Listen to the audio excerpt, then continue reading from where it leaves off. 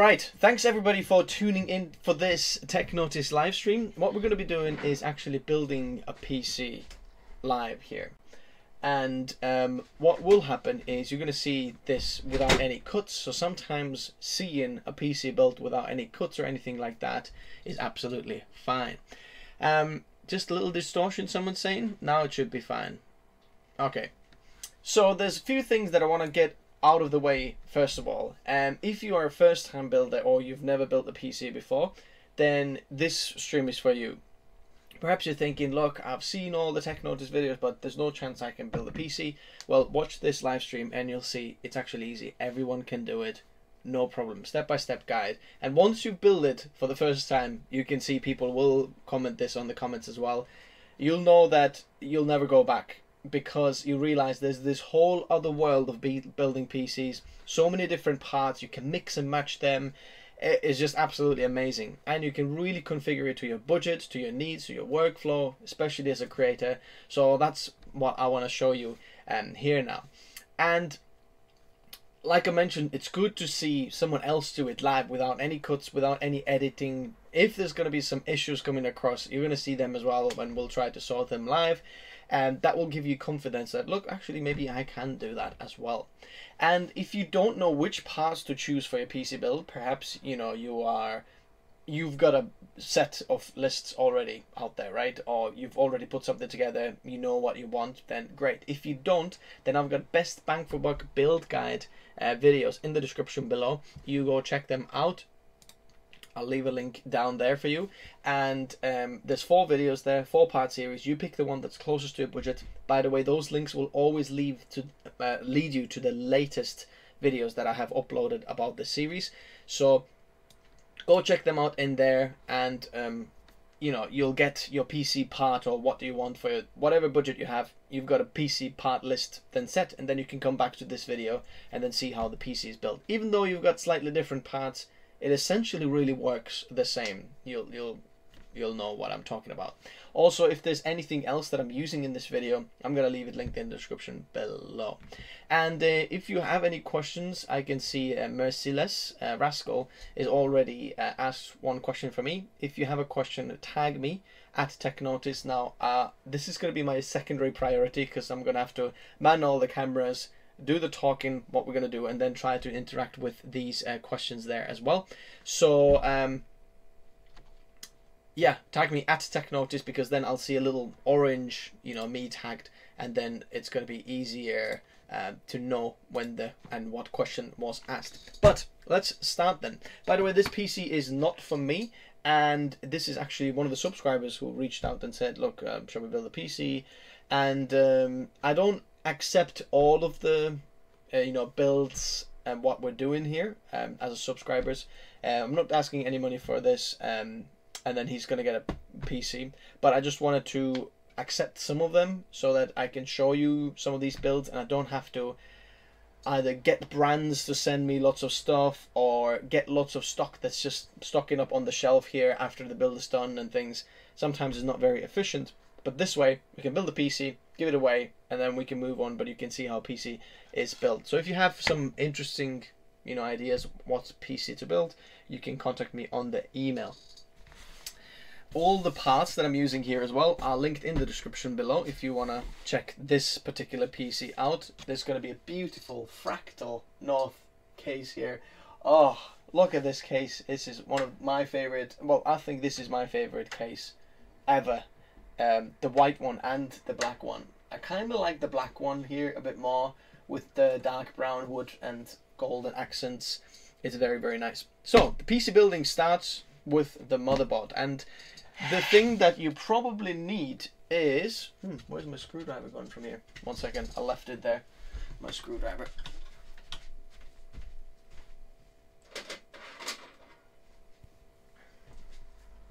Here. Here it is.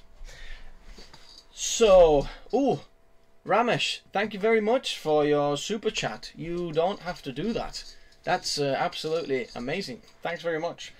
So, if you're looking for some tools to like what you need for PC building, really a screwdriver, any kind of screwdriver will do. But I have bought this iFixit little screwdriver set kit like a few years ago, and honestly, it's is one of the best things I've, I've bought because it fixes all sorts of little things whenever you're fixing electronics or whatever. Plus, it's got magnetic tip and extension and long ones. I'll leave this in the description below as well if you want to check that out. Let's see which one was it. Uh, ah, I've taken them off. Never mind. So the motherboard. What you want to do is open the box. Let's go to this. Alrighty. And then inside you see a few things inside your motherboard. Uh, this is the Wi-Fi antenna, which we're going to put on the side at the moment. We don't need that. Here's the motherboard. Now take it gently out and just set it on a side for a moment. Underneath you'll see other accessories and like this is going to be your main guide as well if you don't know how to build a PC. Honestly, this these manuals don't underestimate them how useful they can be. And here's all sorts of little screws and things. Let me see which we, do we need here. Um, okay, there's a front panel connector. We're going to take a few of these pads out as well. They're little square standoffs. Uh, we don't need these, don't need these, don't need, don't need the rest of them. Okay. Um, I'll leave the Wi-Fi antenna on the side for a moment. Okay, and then close the box because we're going to be building on the box. What you want to do is take this motherboard out from this little um, sheath. What I like to do is put your hand underneath in there and then you'll see the fingers here will stick on the back of the CPU um, back plate there so you can easily hold on to this one and then on the other side you've got your thumb in there and then you can pull it out without really touching anything odd or weird and then just lay it down on the box here. Another trick also here is that when you lay it on the box, try to overlap the back cover slightly so that the back cover kind of slots down there. I'll show you this here because this is a little bit higher. If you put it over here and you start putting RAM in or whatever, you actually start bending it slightly. So put this slightly over it and then everything else is flat and you know that you can press on the motherboard and it's not going to bend anything else if that makes sense. Uh, this anti-static you can put on the side for now, but try to keep track where your things are and what things are which in which box if you mean. Uh, what I mean is like the motherboard things stay in the motherboard box and so on. Uh, there is a lag with what? Is it with audio?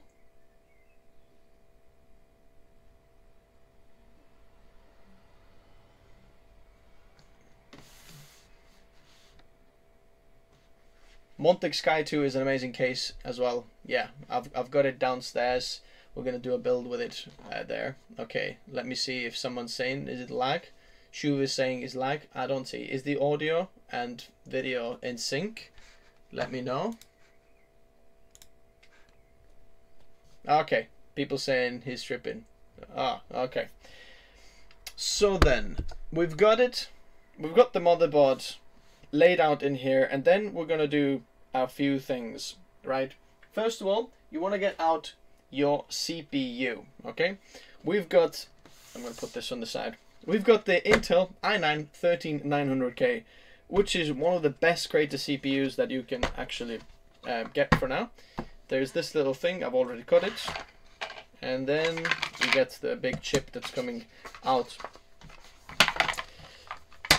Okay, put, put that on the side somewhere. And then if we just undo it clockwise, voila and we've got the CPU in here thanks guys for saying it's good. Uh, so I know that this is alright. So in order to install your CPU you're gonna have to undo this socket here okay? There's a little lever here on the side pop it up and then it just comes out. It's very simple you can't really mess it up. Now, don't pull this back until you actually have the CPU open because you don't want to drop anything on the socket just to be safe, just in case you slip something or spit in there. It's no good for this, alright? So take your CPU and then you pop this open. Also, some be careful when you're opening these. sometimes these protector cases, what I've had happen to me is they kind of pop out as you're like trying to mm, come on, and then your CPU just flies off and you can damage it as well. Just be careful. So once you have the CPU here, I'll just zoom in a bit. There we go. So you you can see a little corner on the CPU. Can you see? In there, there's that little arrow in here, and that lines up with this bottom arrow over there. Okay, so you know the CPU goes in one way. You can't really put it the other way, but it's that. The motherboard I'm using, by the way, is the Asus ProArt Z790 Creator Wi-Fi. People might be saying, Asus. Uh, honestly, it's a bit blown out issue. I know that there's a lot of things happening, but this is one of the best Creator motherboards because it features um, like Thunderbolt, very fast USB connectivity, 10 gig port there for your Ethernet, 2.5, and actually, is it 2? Yeah, 2.5 and 10 gig, lots of fast USB, Wi-Fi 6E, um, lots of fast NVMe storage there, it's very very good. And why not Z690? Because they've probably stopped producing Z690 now, and the Z790 is actually cheaper than the Z690, so I see no point. So you open the socket, and then you take hold of your CPU. I'll take it this way, so it's probably easy for you to see.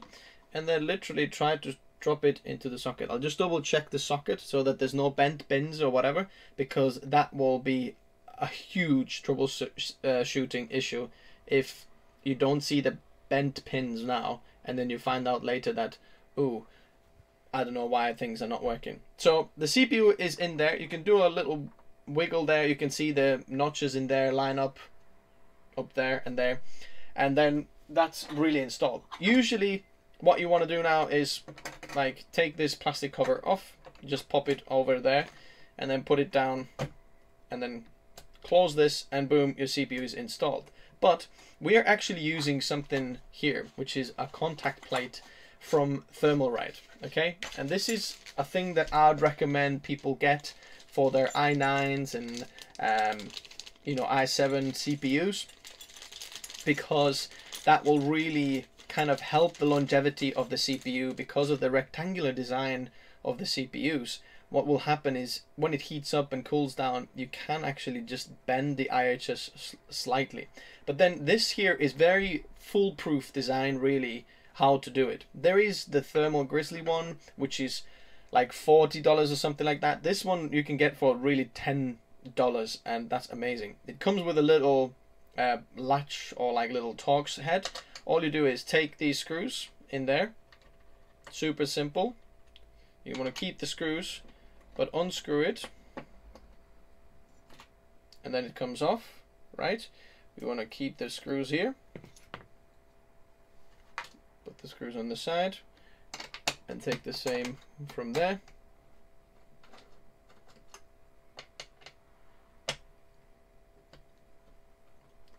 trying to get my fingers out of the way okay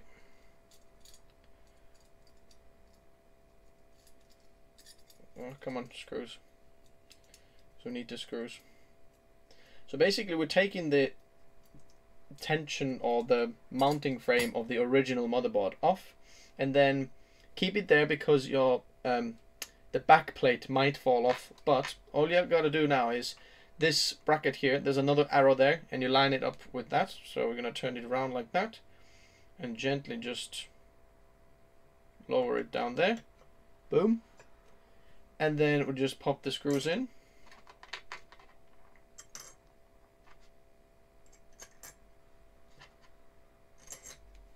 And then you can screw them down in, do like in a, in a star pattern type of thing, but don't tighten them all the way there.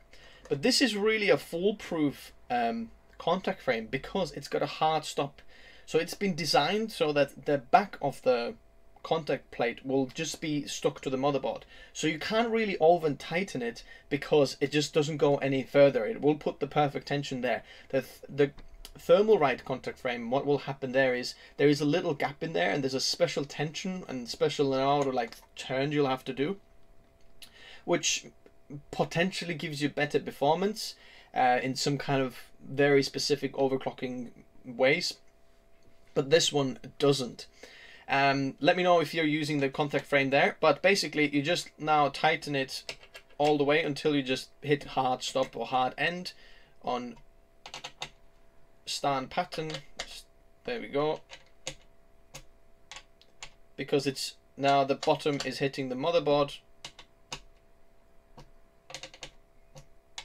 This thing, by the way, will keep your CPU cooler and better as well. The thing is that it, you might, I'm not sure about the warranty, it shouldn't lose the warranty, but you might do when you take these things off your motherboard. But there's no real, you know, instructions and things when they say, oh, you if you remove this, you'll lose the motherboard, you know, warranty or something like that. So I'll put it back in the uh, contact frame there box. Oh, sorry, I'll show you. I'll put them back in the contact frame box and then put that back in there. Okay, and then the CPU is now installed. Next, we're going to be taking out our RAM. And we've got 64 gigabytes of Corsair Vengeance DDR5. This is Intel XMP ready, by the way. So when you're getting the RAM, even though you have the same model, there is Intel and AMD kind of specific RAMs. One of them is AMD EXPO ready and then Intel XMP, which is basically like an overclocking profile for your RAM. One for AMD platform AM5 uh, and then one for Intel's one. Now, even though they theoretically work across the board as well, so you can really get the Intel working on the AMD and AMD one on the Intel, but they only have one Intel XMP profile stored on this RAM kit there. So when you put that in in the Intel system, it will just load that and it's going to be fine. But if you install this on the AMD system, it will kind of load the Intel profile which is not ideal in the long sense of uh, long term, you know. So we'll just pop that one there.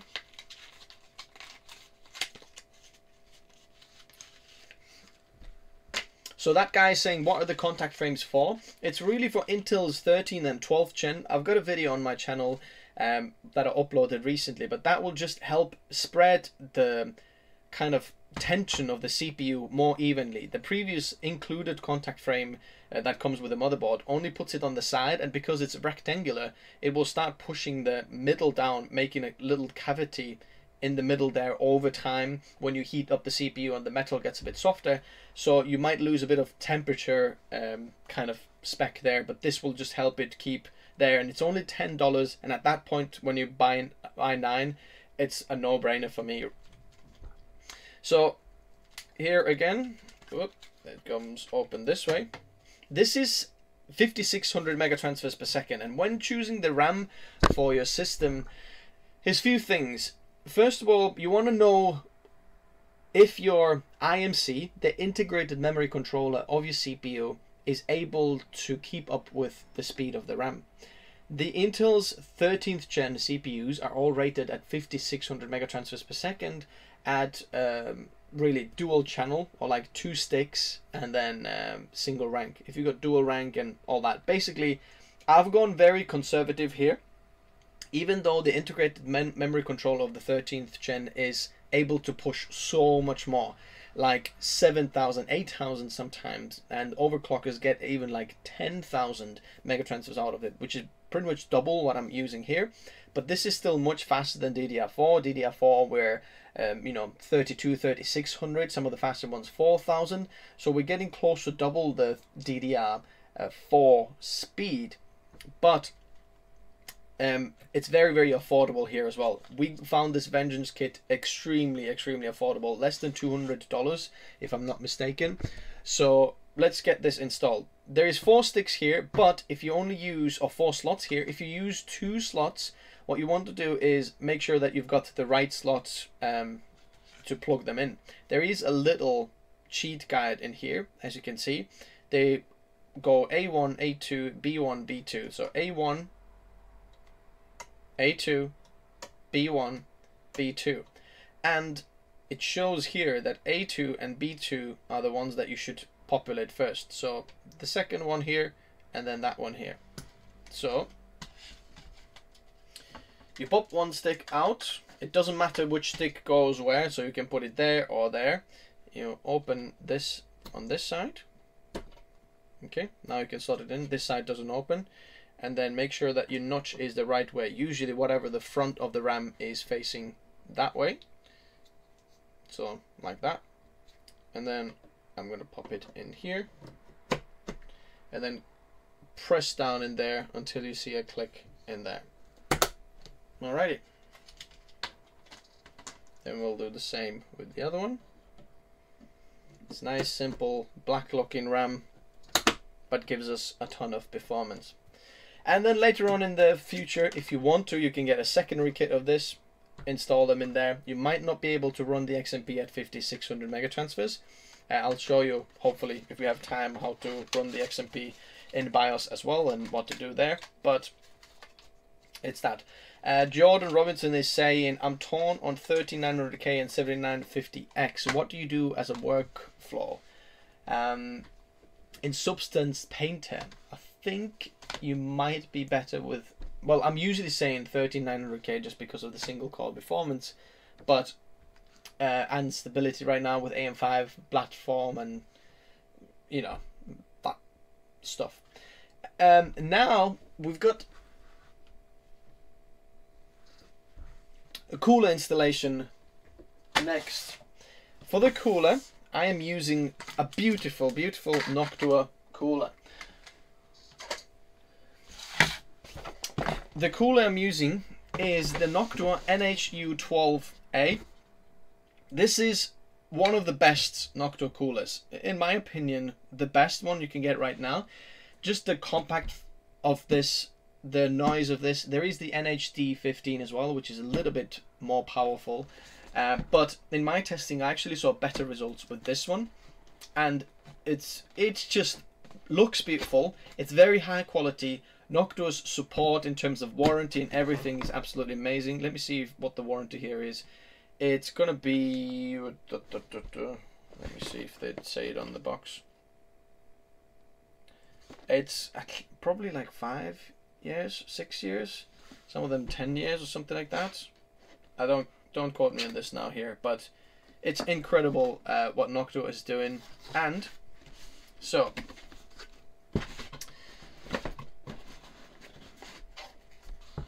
Is DDR5 worth it as of 2023 or should I uh, stick with DDR4 mobile? New PC build here, DSOS is saying. I'd say have a look at the prices. Have a look what the price difference is between DDR4 and DDR5. You might be surprised how affordable DDR5 is. And it's like since a year ago, DDR5 is cheaper than DDR4 for the same amount, if that makes sense. So a year ago, I saw DDR5 like be so overpriced, and DDR4 was you know 65 uh, 64 gigabyte kit like this what we have here um, was priced about um, $250 something like that and now to get DDR5 much faster newer technology less than $200 is crazy deal to me. So the cooler here I'm going to put it upside down. What you want to do is get the fans off. There's these little clips on the sides so you pull it this way and then up and then it opens it up and then you can get the fans both of the fans off for now. These are one of the best fans you can get in the world as well. So this cooler already comes with like incredible fans. Um, so some of the coolers have a weakness of fan speeds or they have like a lower quality fans but this one very high quality fans so we'll put the fans on the side for a minute at the moment and then you've got the contact plate on the bottom here. Keep the plastic cover on, protecting it. Mine came loose in the box, so I put it back on there so I can stick it on the side and leave it up like that. Um, someone saying, as a DaVinci Resolve user, if I have to put more budget, should I go with i7 13700K to 13900K or 4070 Ti to 4080? I would go 4070 Ti to 4080. You'll see bigger improvement in performance just because of more VRAM, which DaVinci Resolve uses. But the 13700K is already very, very good. Uh, incredible performance there. So now we're going to have to find out our platform um, kind of mounting kit for this because this cooler goes to all sorts of different so you can use it on AMD, Intel, previous generations. So find here, we're looking for LGA 1700, okay? We're gonna find this and always, I always double check this because you can never remember um, like which screws or which washers did you always use um, in this here. But first of all, where is our back plate here? Okay, here. So on the bottom here, there's this, it says here LGA, let me see if you can see that. Come on, focus. There we go. LGA and there's 1700 in the back there, can you see? So we can use this for our build. And then these are the right pouches here. We're looking for the blue standoffs and then little black washer things. And okay we'll do that one later. We'll do this first. So we want to prepare our back mounting first. Um, and then this here says this side must be facing the motherboard. There's a big caution here okay? So make sure that you do it this way because it will go underneath the motherboard like that so then we're going to take out these here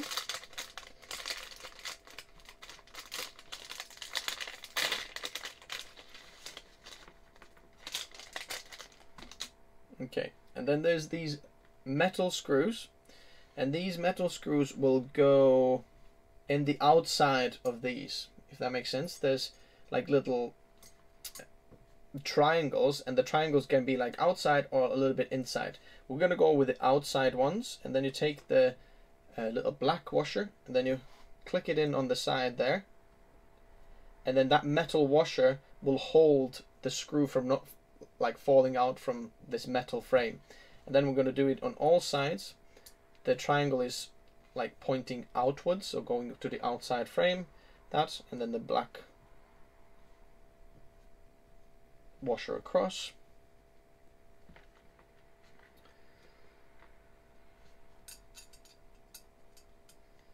Okay. 13600K is fine with an air cooler. Oh yeah, even all the um, Intel CPUs can be fine really with an air cooler. You just gotta disable some of the um, overclocking settings from the motherboard BIOS that a lot of the motherboards just come by default. Stick on Intel settings, I'll show you here. Okay, so back bracket bracket now is ready. Okay and then I'm gonna do it this way now so what you want to do now is here this back bracket here okay that goes through these holes in the motherboard. There's two holes in this motherboard and and it will go to the outside holes. And then gently just push it through and it will just go on the back of this. And then now you can put the motherboard back down. Just like that and then I'll stick it around there. Alrighty. Next we're gonna have to install okay I'll put these extra black washers put it back in there next we're gonna install the um, bracket on top of this here I'll show you what I mean put this on the side of it okay so we'll take the blue washers. It's very nicely color graded there for Noctua.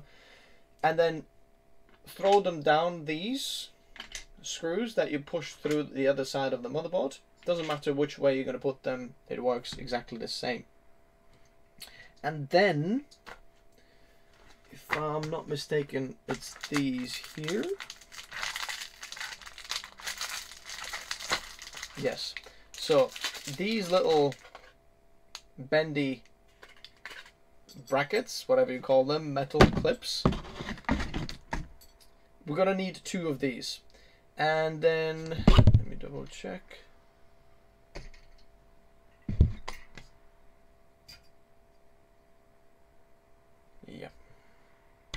And then you can actually get the cooler mounted like pushing air upwards or sideways, but sideways is more optimal.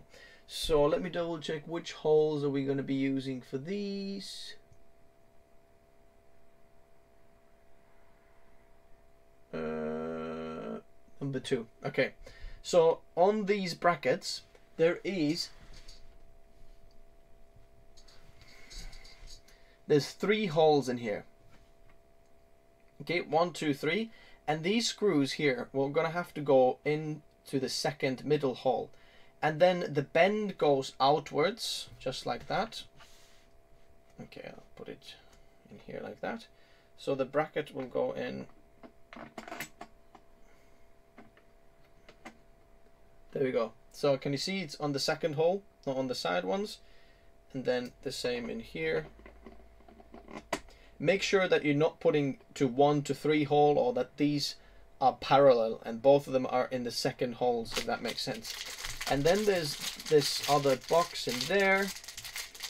And then we're gonna take off these little nuts that go on the top there. One, two, three, four. Okay, and this here is now good for if you've got a screwdriver. This will help you.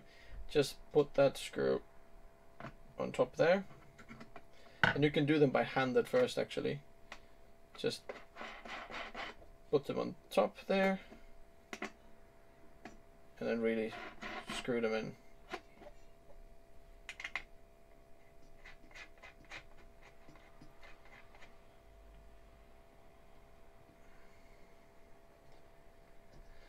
Is 13600 good enough for 4K color grading? Yes, absolutely. 13600K is as good, actually slightly better than the 12700K from previous generation. Um, have a look at my video between them two. It's absolutely incredible. So now once you put the screws in there, you just tighten them up so that not like mental tightness, but kind of, yep, they're quite tight now. It's not going to go anywhere.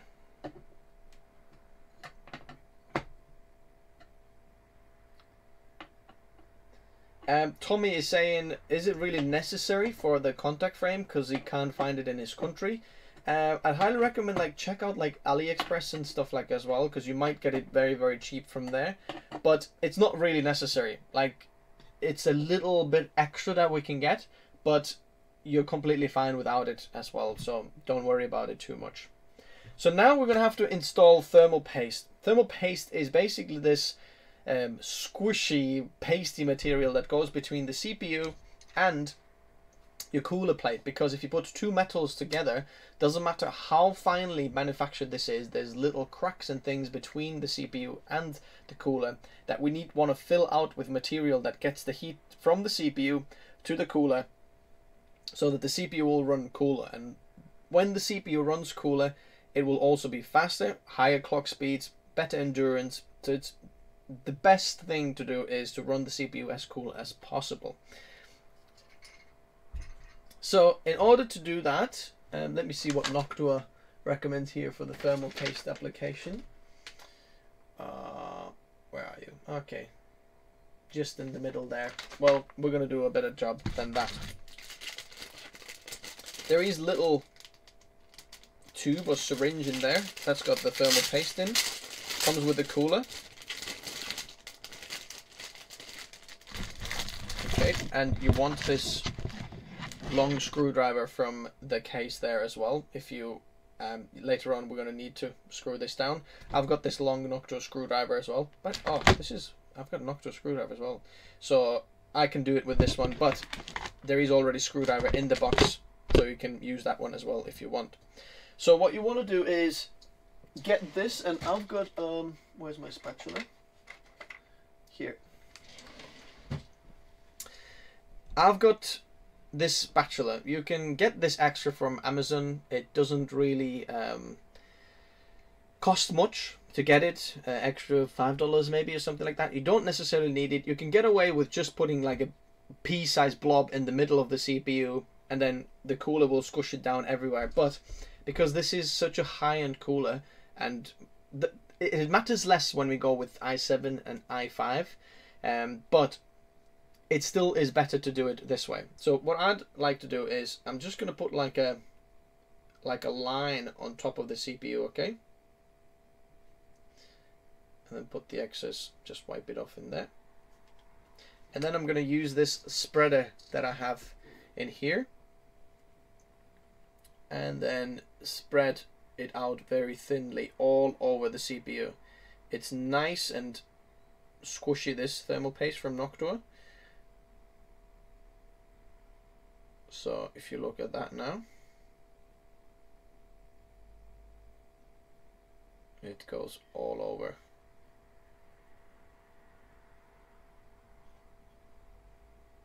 the CPU. Perfect.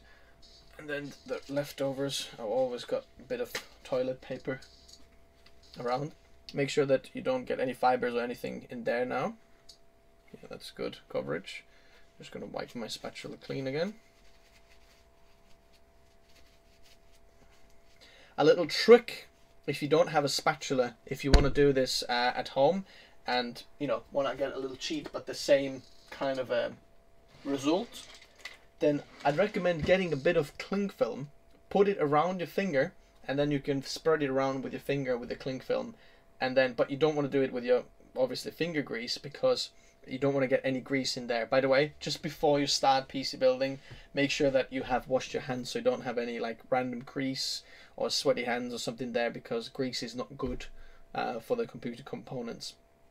So now this is thermal paste installed there. Alrighty. And then, okay, what you want to do is, I've got a bit of a cloth here. I've got a bit of dust in there.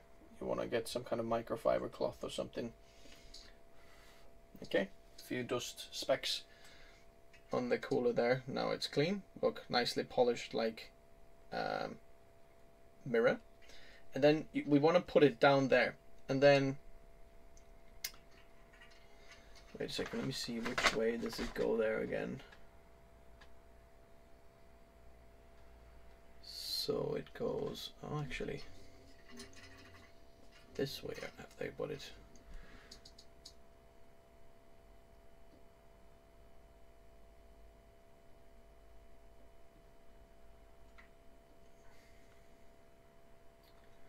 Alrighty.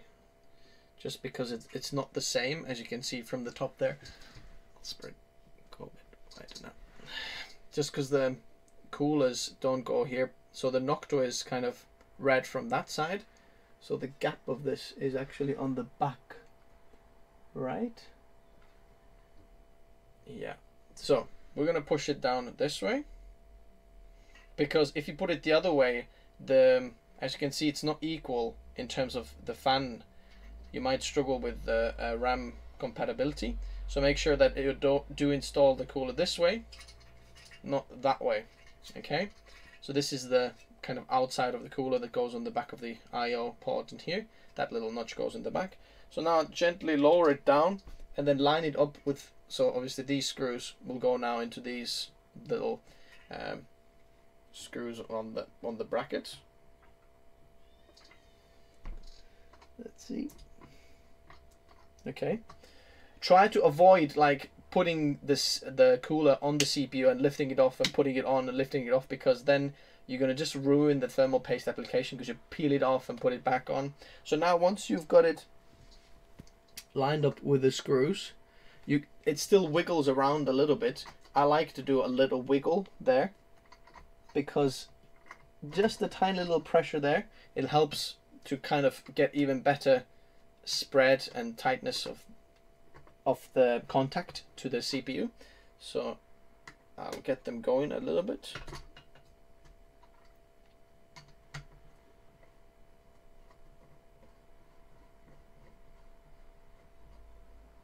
Okay, so now tighten these screws up in a kind of equal way so they go down. Look at the small picture, I'll show you on this one. So they go down kind of equally like that, not like that and that and that and that because then you'll push the thermal paste. If you tighten like that and then tighten this one you just push the thermal paste out but you want to get slowly down like that. So let's do that. Let's have a look at some of the comments. What material is a no-no to place the motherboard on? Um, well the box of the motherboard is like the best one I guess something that can ruin the back capacitors of the motherboard on the back of it, that will be a no-no, but uh, therm thermal and electricity conductive materials, no good, but cardboard is good for that.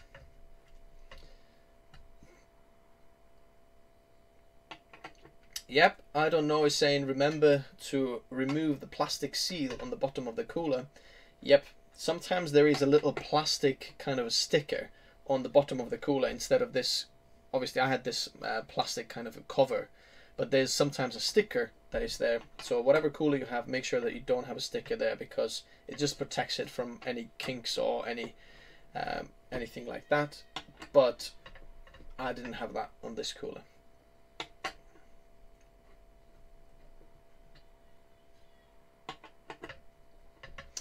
Someone is saying, is liquid metal good? in terms of performance, yes, it's cool, but it also comes with a lot of faff and um, a little tricks. So it's really for overclockers, I'd say. Yeah, you can get a very cool performance, but they usually use it for like direct die cooling and things like that. For creators, I'd say just save yourself from this like instability potential issues and troubleshooting if you don't need like extra every little 1% of your um, like CPU don't use it. But like if I'm just looking at the you know cooling capabilities yes liquid metal is good. Okay. Yeah Alchem Chrome is saying the the same it breaks down. Okay I've got it uh, screwed down now. Uh, I've hit hard stop and then that's basically it now. Make sure that you've got all your cooler things, all the screws and things that came with the cooler back in the cooler box. And then I'm going to put the cooler back in the cooler box. Yeah, liquid metal may leak and short out the motherboard. That's what someone's saying there.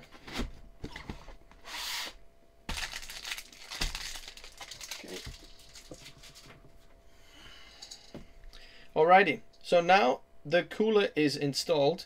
Uh, let's install some SSDs next. So we've got two SSDs here. One of them is a Crucial P3 Plus, links in the description if you want to check any of these out. And then one of them is a 2 terabyte Western Digital Black SN770. Now these are M.2 SSDs and these will go on these little covers underneath, what you can see. There is four M.2s that you can install here and there's all of these slots support PCIe Gen 4 storage. And you can get as high of a SSDs or as low as you want, as many of them as you want. Right now we're going with two. One of them for the operating system and then one of them for the projects and programs and, um, you know, kind of your project drive, what I call it. And that will go uh, on the second slot and on the first slot. The only important thing to know is that the fastest SSD that you have, you want to put on the top slot where your program and OS SSD is, because that will be directly connected to the CPU rather than through the chipset to the CPU, which will just delay a little bit, have a, a bit of a longer or higher latency to go to the CPU. But the front slot will just be directly to the CPU, so the programs and OS is what you want on the faster drive so that you get the least latency and the fastest drive possible there. And these are the two drives that we got for here because they were in a very, very good deal. Now, you're going to see a video about them on my channel, but there are some new drives that I have found that are absolutely amazing that you should know about. This is Solidigm P44 Pro and then P41 Plus. They're not sponsoring for me to say that, even though the video that will come out on the channel um, at some point uh, will be sponsored because they wanted me to check them out. But at first they said, look, can you do an integration on the channel about these SSDs? I said, yeah, that's fine. When I started looking at the SSDs, the specs, the performance, I, I said to them, look, can I do a dedicated instead of the integration, which you'll see very soon on the channel, because these SSDs are insane. If you didn't know what's going on in here, yo, Aaron, nice to see you there. Then these SSDs are basically old Intel SSDs. Intel sold their SSD business to Solidigm, basically. So Solidigm is SK Hynix and Intel SSD magic together, and then you get these. There's P41 Plus, which is kind of a mid-range um, Gen 4 SSD, and then there's the top of the range P44 Pro. Now the P44 Pro is like beating out a lot of the high-end drives like Western Digital SN 850X, Samsung 990 Pro, 980 Pro, KC3000 from Kingston. It's incredible performance, and a lot of it is due to the re random read and write speeds of the SSD. I don't want to go too much in detail um, about these and why these are good, but these are definitely worth checking out, especially when you look at the price point of these. I don't know how this is possible to get something like that um, so cheaply across. Highly recommend checking them out as well. I haven't, yeah, I think I linked them. Yeah, I put them in um, in the description below as well, but um, that's helpful there. Now you want to get your screwdriver that has um, Phillips one head, so it's a skinny head screwdriver. And then we want to undo this top SSD cover slot there. Whoa, that screw was on a bit tight. Okay. Are those are DRAM? The P44 has DRAM, but the P41 Plus doesn't have DRAM. So the mid-range doesn't have DRAM, but the high-end one does, if that makes sense. Okay, so you've got a little heat spreader here. So this is a thermal pad that will go onto the heatsink and helps to cool down the SSD. But we'll take this P3 Plus. So this is a one terabyte drive, which we're going to be putting for the OS. Okay.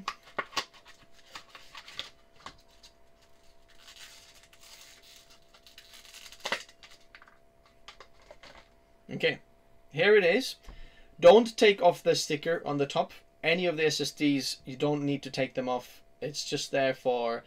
They've also engineered this so that you don't lose any heat or anything. It'll go there. So then, this is the top of the drive, and this is the bottom of the drive. As you can see, on the bottom, we have no chips. And if you see on the top there, uh, if you look very close to the SSD, there's the NAND chips and the, um, you know, controller everything's on the top. But we've got this standoff in there. Remember we took these little square standoffs from the motherboard box? If you're wondering what these are for, then these are for SSDs that don't have chips on the bottom side. And what you want to do is just stick them. Okay. On this little rubber standoff already there, which makes it extra height. So this is basically the height of the of the bottom chip if you had it on an SSD and then you're going to pop it in into this slot there. You can't really go wrong because there's a notch in there and so obviously you can see it there as well. You just it the only thing is that you kind of install it on an angle. Let me see if you can see it from this side.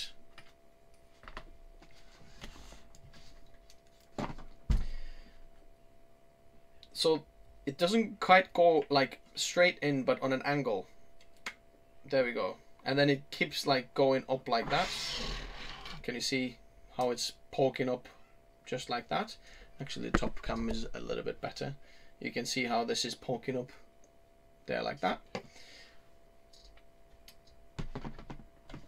And then now you want to push this down and there's a little quick um, install on toolless design um, like holders there. So you're going to pop it down.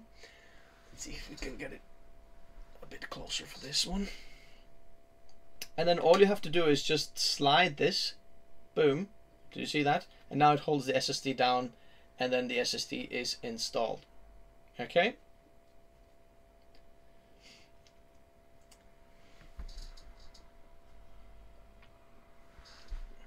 And then we're going to take the sticker off from this. So this is for the thermal pad. So this is a thermal pad, but there's a little protective film on it. So we're to take that off. Oh. Peel that off just like that, and that will stick to the SSD and get the heat out. So if you remember, the corner goes on the bottom, as you can see on these there, because the screw holes won't line up. So just so you know, it goes like that into the corner. And then line up the screw holes, one side and the other side, and then screw it back down. Can I connect M.2 PCIe Gen 4 to PCIe Gen 5? Yes. So the M.2 drives are always backwards compatible, not forwards compatible, if that makes sense. So you can install Gen 5 drive into the Gen 4 slot as well, actually, if you wanted to, but you only get Gen 4 speed. So they are uh, actually backwards and forwards compatible, but you'll be capped at whatever the slot is rated at, if that makes sense. And then let's do the same on the bottom drive here. Now, I'm going to take this one, but then later on you can add some more in here. There's third and fourth slots on there, but because we only have two of them, I'm going to put the secondary one in here.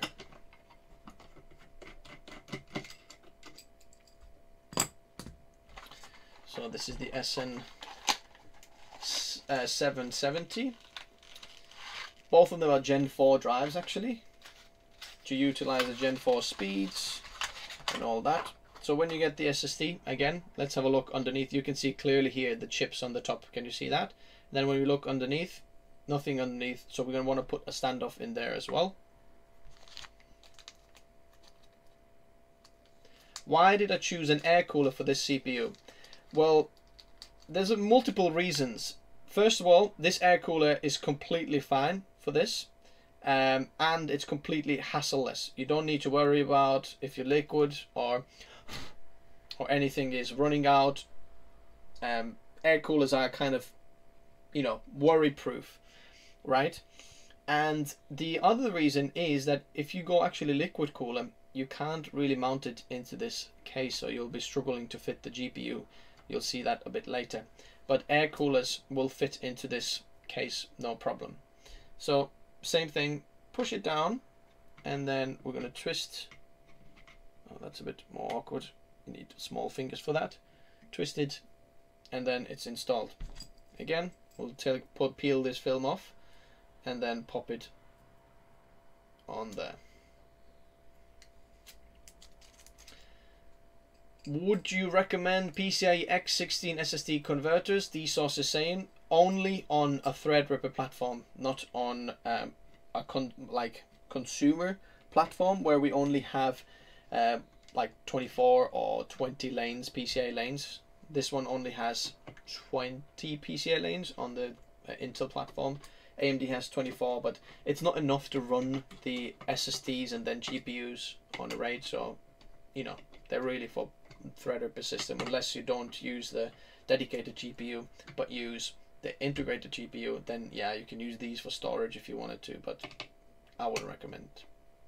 It's only for like high-end storage. So now it's installed. Don't like screw them in that hard because um, you don't need that much pressure on it but as long as you know they're tight there I'm just going to take this sticker off there as well. Boom. And then off we go. We're done here. Okay, just clean up there. The Solidigm is 1200 terabytes for the 2 terabyte one. Yes, the 2 terabyte, that's the only downside for these Solidigms is the 2 terabytes terabytes written spec is a little bit lower than 1 terabyte spec, if, I, uh, if you know what I mean. Because 1 terabyte is, well, 2 terabyte one is not just double the one terabyte one spec. One terabyte is 750, which is much higher than Samsung 990 Pro, um, Western Digital SN850X, uh, 990 Pro, uh, KC3000 is 800 actually, so that's a little bit higher, but it's it's higher than um, you know usual what you see there, but much lower price point there. Okay, so um, it starts to get interesting now because our SSD's motherboard we're getting we're getting close there. I'm just throwing some rubbish away. Oh, I'll put this uh, cooler paper off as well. What if you only have single M.2 slot? Then use the maximum capacity or maximum bandwidth for that slot and as much capacity as you can afford. Now, we're going to put the fans back on on this cooler, okay? And then make sure that you you mount them the right way. So this is the front of the fan and it will blow the air through and this comes out from the back of it. And as you can see, we're gonna have to put that on back of it here. So one goes in the back and one goes in the front. Just use those clips and then we're gonna clip it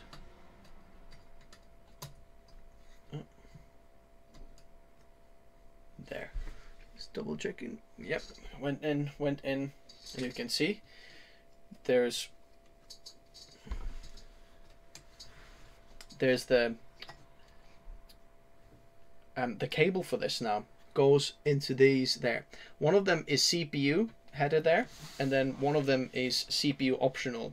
I'll, I'll show you there. So the let me see. The silver one or gray one here is uh, the main CPU one and then the other one is CPU optional. So basically both of these are fan headers but they are they share the fan curve control from BIOS if you don't know what it means. Basically you can put um, or plug both of these in there just like that. I'm gonna it doesn't matter which one you put into either of them but they both need to be plugged in. I'll just push the cable down there and that's going to be fine there. We'll take the other other one. Okay, that goes in the front there now. And we want to put it okay down there as well. As you can see, RAM compatibility extremely good. You can have super long sticks there if you wanted to. It still won't cover all the RAM. And then now we can take the other one. You can fold it a little bit and put the other one, plug it next to it there. Just like that. If you only have one connector on your motherboard, the cooler actually comes with a splitter so you can plug both of these two headers into one and then put it into one header on the motherboard. They both end up doing exactly the same job. So make sure that your front fan is on this side, blowing air that way, and then the other one is blowing it out that way. So now it's this is done there. Next, we're going to have to start using our case now and doing case um, prep. I'm just going to put the motherboard slightly on the side there for now.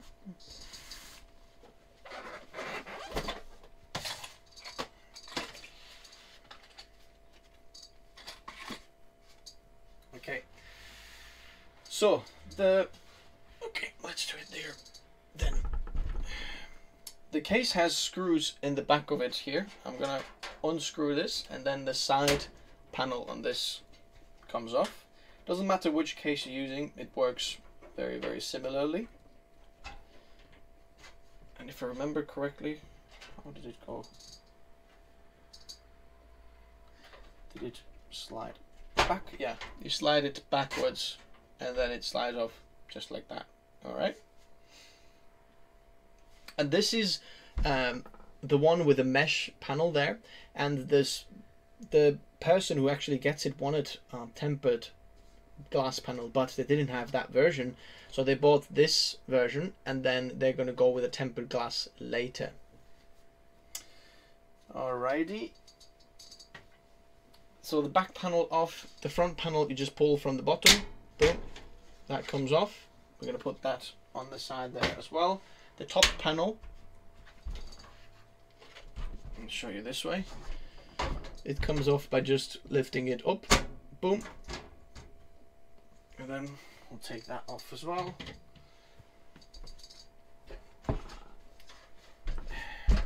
And then the back again or side back panel. You undo these that might be a bit tight for fingers but you pull back and then it slides out and then just put them on the side for now we'll put them back this case actually has an extra little thing can you see this kind of a plate on the front here? There's a little screw on the top there as well. I might need a screwdriver for this. If you undo that screw there,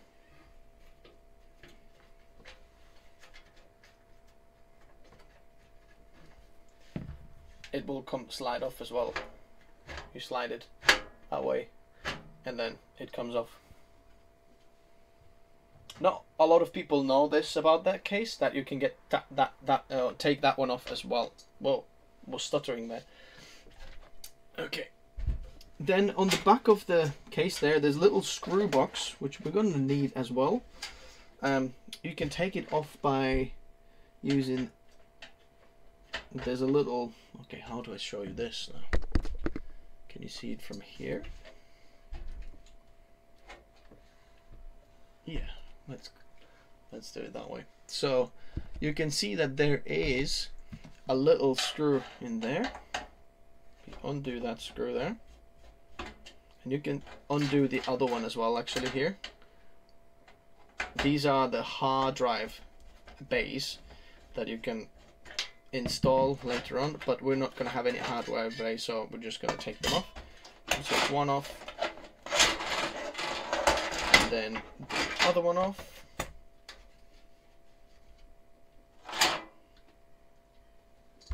Okay, and you want to take this out there. D source is saying, are these 180 millimeter fans in the front? No, they're just 140 millimeter fans there. Okay, these are accessories to install the motherboard and things in there. You're gonna have, you can throw this, this um, whatever little, um, it's not zip tie, just uh, some wire. Throw it away, right? Okay, I'm gonna take this screw back out, and then these you can put on the side as well for now because we don't need that. And the next thing is we're gonna have to find screws for the motherboard. There is actually a little um, cheat sheet here as well. Uh, so you can see which ones do we need. I think we're gonna need the ones with the biggest head. There's 16 of these, the M3 screws and these will be the ones for the motherboard. If you don't know how to check that which ones are right, so take the case and then lie it flat in here. Let's see. Okay, find one of the screws that you want to try to see if this is for the motherboard. Let me find these.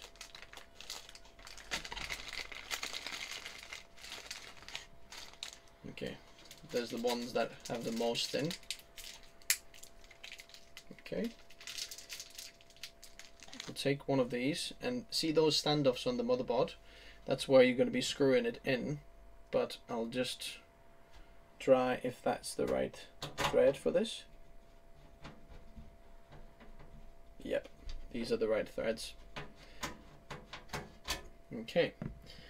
Next, we're going to have to lift the motherboard into this case, but there are standoffs on the case here. The little bits here that the motherboard will stand on and then you screw the motherboard into these things. As you can see the middle one has a little nubbin or like a little, yeah I'd call it a nubbing. So basically this will not be screwed in but this will help the motherboard to kind of just stay still because it goes into the screw hole you'll see in a moment. And you're wondering, or oh, are these in the right places for my motherboard? The short answer is if your motherboard is the standard ATX size, so the same size as I have here, there are smaller motherboards motherboards that are slightly smaller, but for ATX size, this is an ATX size motherboard that I have. Usually most of the cases come with ATX size standoffs installed. But it's always good to double check if you've got the right ones. So what you can do is take your motherboard Okay. And then you can see the screw holes on the motherboard. Can you see? We've got some in there, some here, there, there, there, there, on the top, and then in there, and then there, and then one inside that hole as well. And then you just want to make sure that they're lined up there. So what you can do is take hold of the cooler. That's what I usually like to do. Put it down there. And then slowly lower it onto the standoff. Don't put it on the standoff and start sliding it around because that's going to be um, not good either. But before you do that, actually, um, look, let's see if I can show you here. There is a little film on the back there. You might want to take that off. Might struggle to take that off later, but it could work fine later as well. But slowly down to there. And look, the back I.O. starts to line up.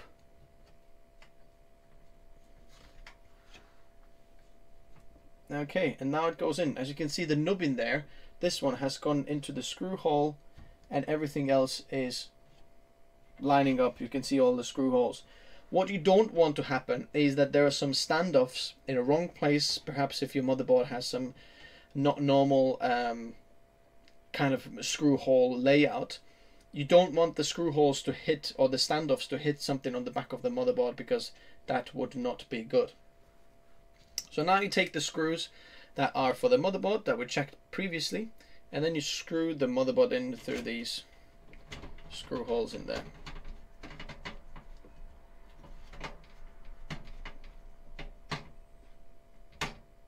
Wait a second. Are these the right ones? I don't think these are the right ones. I think I made a mistake. I think these are too skinny. I think it's these ones there. Eight screws. They they've got like a mushroom head, not as flat mushroom head as we tried before. See, already made a mistake. So as you can see there, you pop that in. Yeah, that's much better. If you don't know how to start the thread or where the thread starts, what you can do is put the screw in, start screwing it the wrong way until you hear a click. Do you see that? Now it means we're in the beginning of this thread and if we start the other way, it starts going straight down.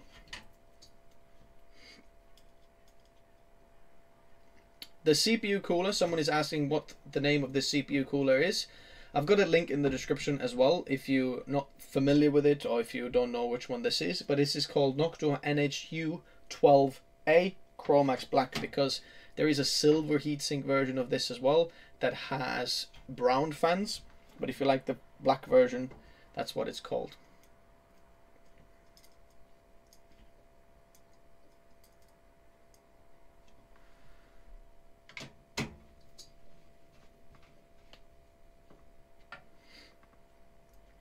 Alrighty, have I? Uh, how many fans can you run out of a single header before you have voltage issues? Um, quite a lot actually, because there's uh, single headers usually are rated at 2 amperes. So they run 12 volts and to get the wattage it's 12 volts times 2 amperes which is 24 um, watts and for 24 watts you can run quite a lot of them. Because usually a single fan is um, like 0.16 watts or something like that. Uh, let me uh, sorry 0.16 amperes. Let me see there's one Phanteks T30 fan here. Let me see what this is rated. So this is 0.36 amperes at maximum speed. So you can run um, what is it eight, seven of these in there, and these are quite like powerful fans. 0.36 is quite high uh, amperage, so this is um, this will get you there. So so these you can run. What did I say? Six. But then some of the other ones you can um, run a lot more. Okay, let me see. Did I have... Okay, um, I've got one screw. There it is. One last one.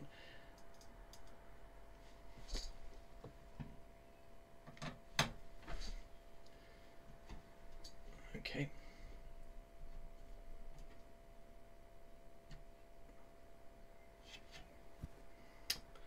Alrighty, so now the motherboard is installed it's in there. There we go. While we have this case flat in there, it's good time to also install some extra fans. I've got two in the front here. They're blowing air in. They're called intake fans, and they blow the air in from this way. Then the cooler takes the air and then blows them out. But we're going to install another fan in the back here, which this um, the guy who gets it doesn't actually know that I'm doing it, but I'm gonna install it there anyway because I've got a few extras of these, so I just want to make sure he gets good good airflow there. This fan has, I need to install the black headers for it.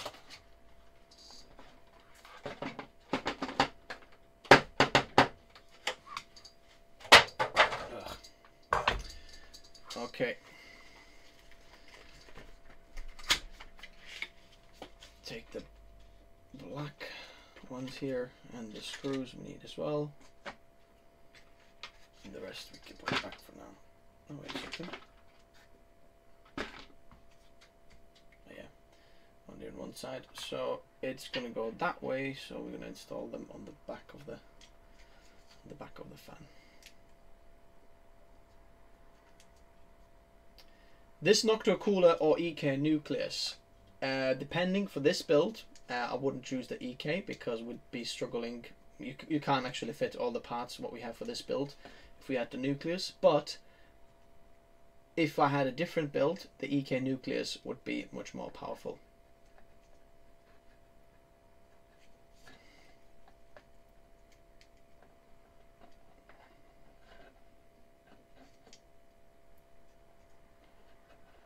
Oh yeah, get those power cables done. Good idea, Alchemer, because I just remembered there's these have so small holes in there. So I've got to get them done first. So before I'm going to put the fan actually there, we've got to get the power cables done. Thanks for reminding me, because uh, I just remembered it's got very small holes for these. I'll just put these screws on the side. This up.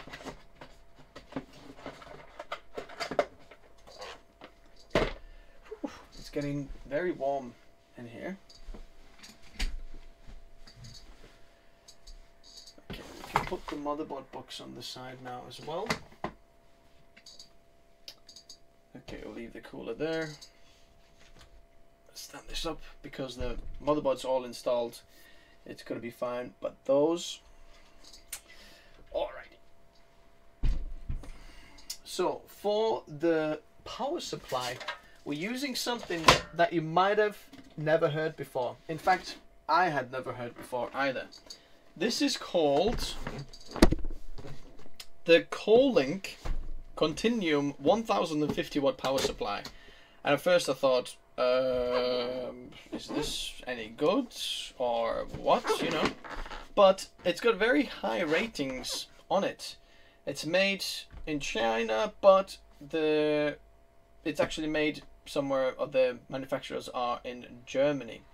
But some of the awesome things here about it are is that the warranty isn't the longest for power supplies, five year warranty, which is kind of mid range there, but it's got 80 plus platinum certified um, power rating, which just shows that they have actually used quite high um, quality components there and this was on an incredible deal. I think we paid about fifty pounds for this or something like that to get a one thousand watt power supply, eighty plus platinum. This is a crazy deal for that. So let's have a look. Where's the, uh, the gables here? So when you get the power supply, depending if yours is modular or non non-modular, um, so this here is modular, which means that it doesn't have these uh, cables installed on there. There's a motherboard cable, that's this long one here that goes onto the motherboard, 24 pin on one side. Um, you're going to need that cable.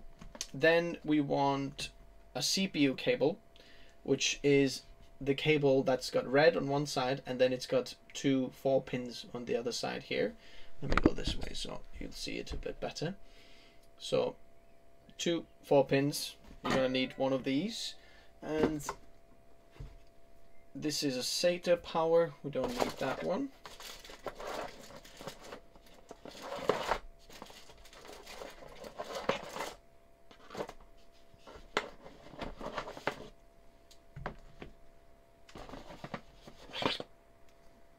Okay, let me see. PCIe one, three.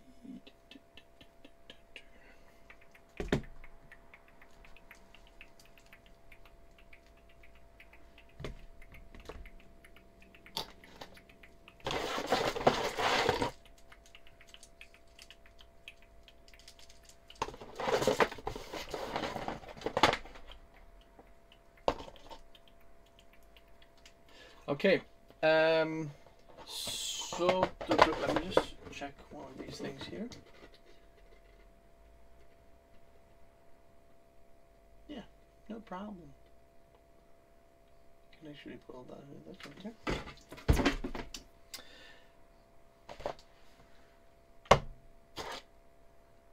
Alrighty, righty, righty. So we need um, all of the red cables pull out. Every single one of the cables that's red, you pull out, and then the rest of it you can put in, and then you've got the long cable as well.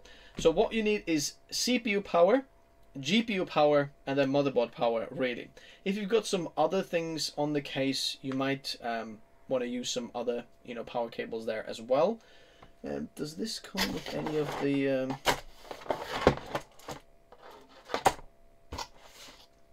No. Um, keep, get the zip ties out here as well. Sorry, I'm just going to open the window for a little bit because it's getting incredibly hot in here.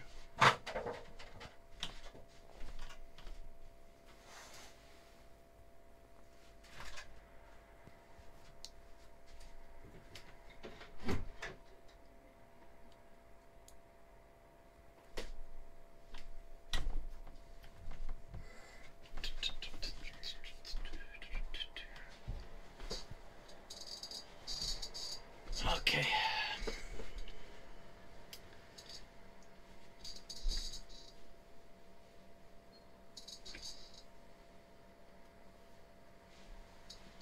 Okay. So, so, so, okay. Uh, we'll leave the rest of it on the side. So for our CPU, if you're wondering like how many power cables do you need for your CPU, um, like how, how do I know how, which ones do I need for the graphics card, which ones do I need for the power supply.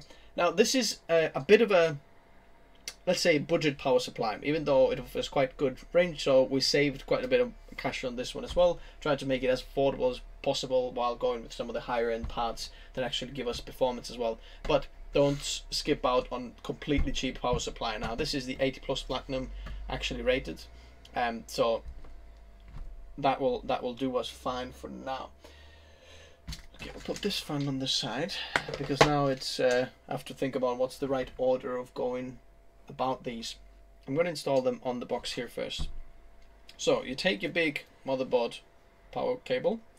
In fact, if you go with this build, you might want to get a different power supply um, just because if you want all the features, you might um, want to use a different one. Do I have a different one for now?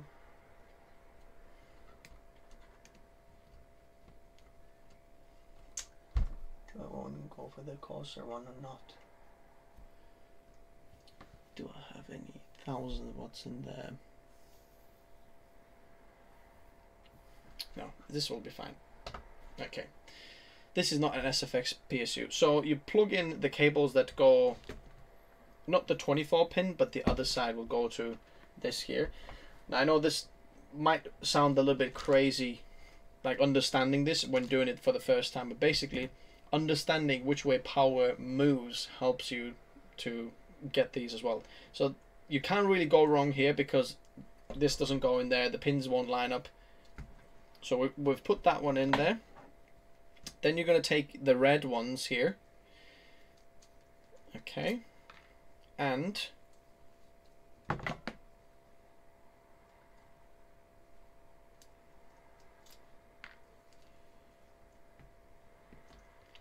what you can do is plug them into any of the red ports here.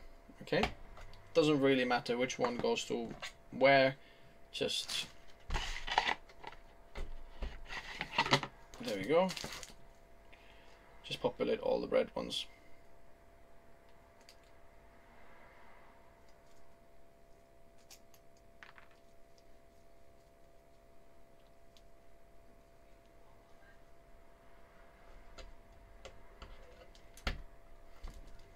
Okay.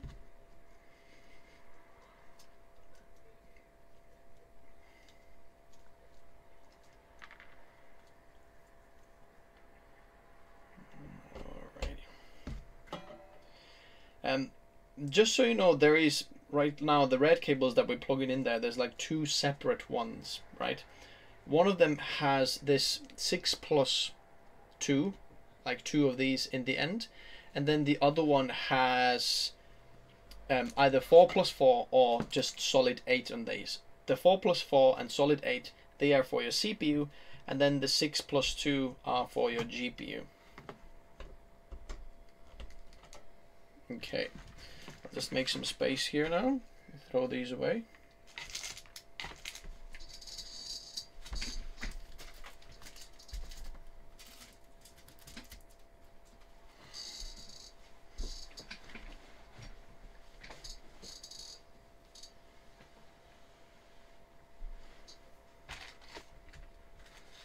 Okay, just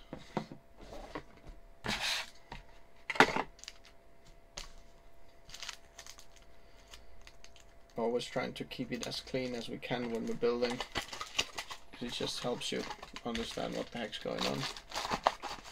Okay, the case, the G, um, so for the case accessories, there's also power supply screws. If your power supply doesn't have them, you can get them out now as well. Put these all on the side for now. Okay, and then let's go here. Okay, so the back of this has uh, a power supply shroud. So you can undo these two thumb screws. Uh, they're not so much thumb screws. Sometimes when you're doing it for the first time, might need a little help for the power supply uh, with your screwdriver.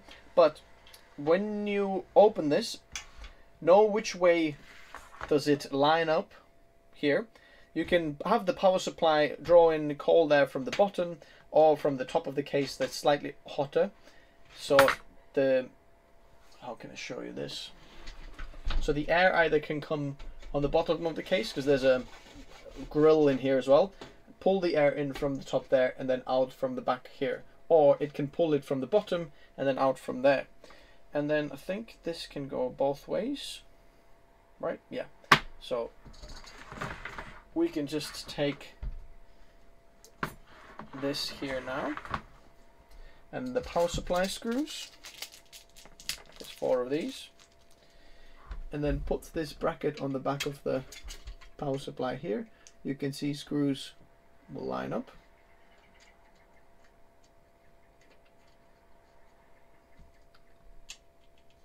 And then screw it in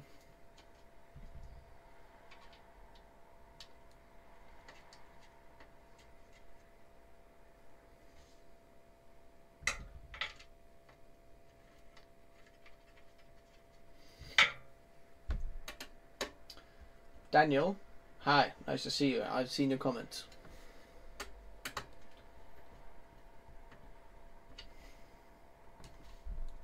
Does this PSU come with the ATX 3.0 compatibility? No.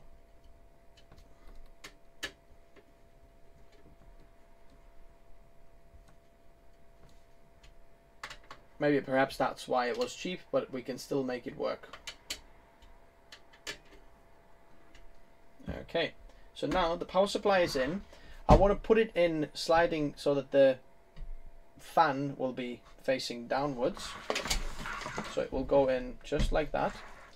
So I want to take these, all these cables first. And then push them through and then out from the side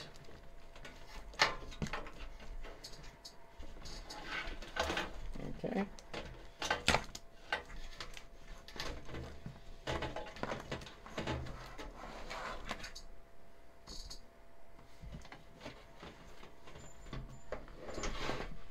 slide it in boom and then now uh, screw in these two screw thumb screws. Might be a bit easier with the screwdriver. Alrighty. Okay. And then power supply is installed. Leave that one off for now.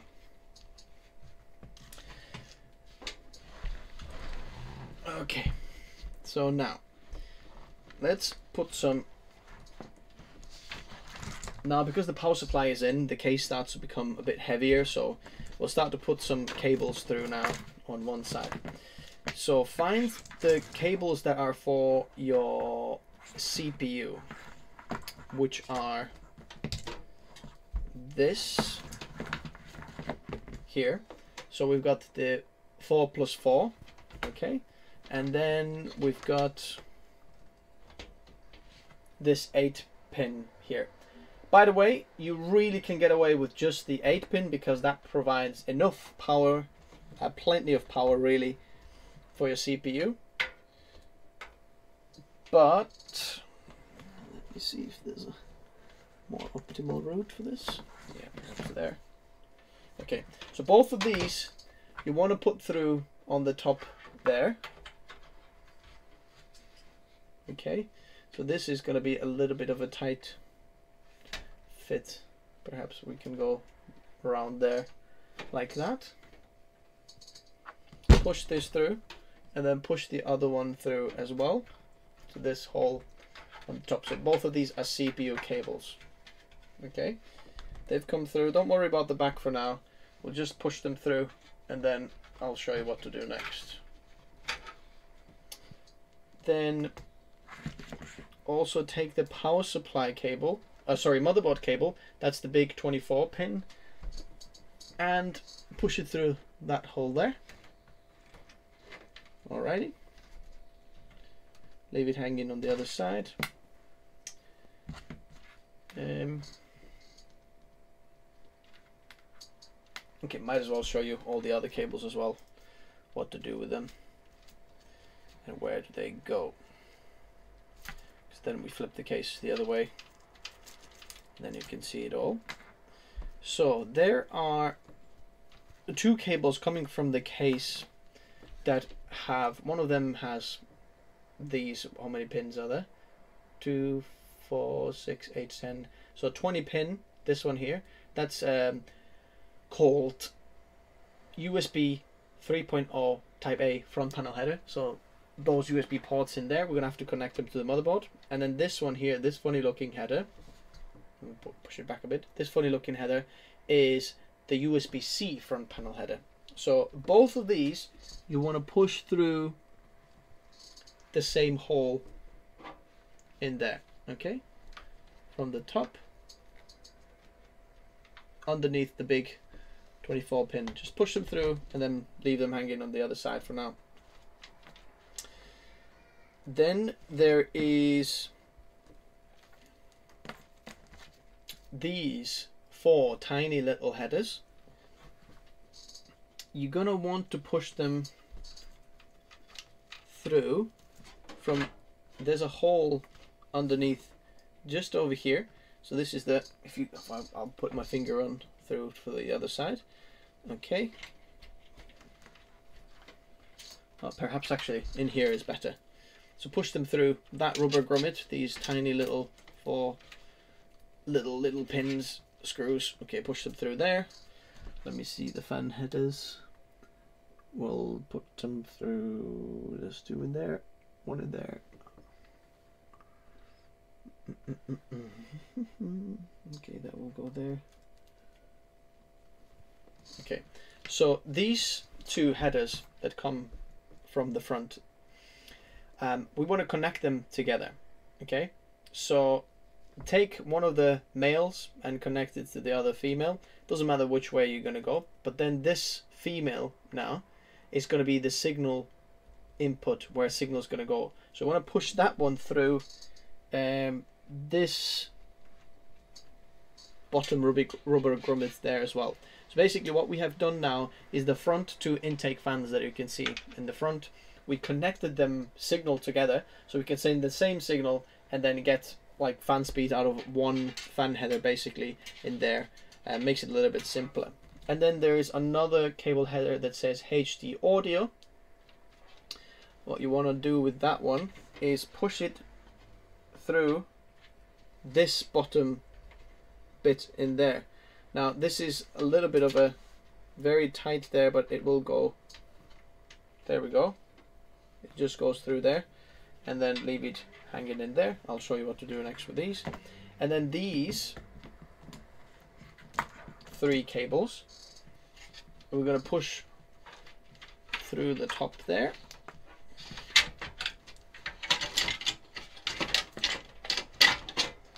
And then pull them out from the front all the way on the other side. And then now that's fine. Okay, put the case back down flat like that. Okay, let's go here. And now I can show you how to plug in everything everywhere else. Okay. Whoa. Accidentally had it on five.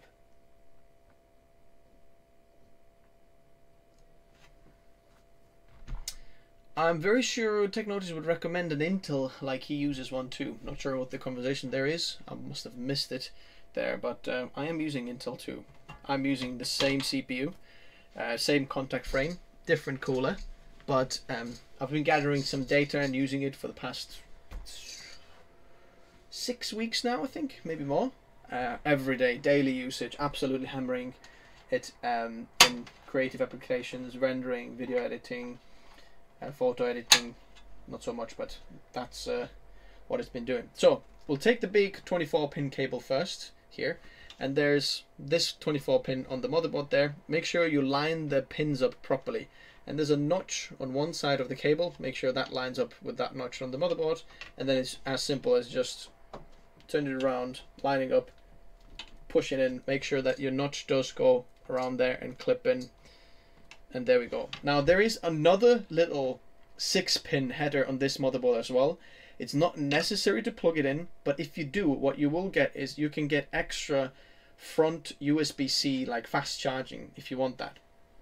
But you need extra, um, you know, cables and headers from your motherboard, uh, sorry, from the power supply to do that. Um, this is not necessary, so we're not gonna do that.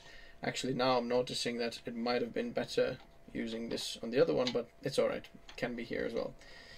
So, next, we're going to plug in the front USB-C header. So that's going to go into there, right? This funny looking header. It looks a bit like a T if you look down there, but it's got funny um, bits. So you try, see which way it lines up. I always get it one way or the other way.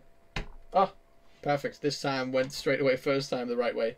It will clip in, but this isn't very easy to get loose. So just last thing what I would do is still check that this is plugged in because it, it can come loose a bit easier. And then we've got this here. So that's the front type A panel. And uh, as you can see, this is um, the port there that you want to plug it in. But this one, be much more careful. This, I think you, you have to be very, very careful. I have actually bent pins, pins on the motherboard by type trying to plug this in just because it goes a little bit on an angle or something like that.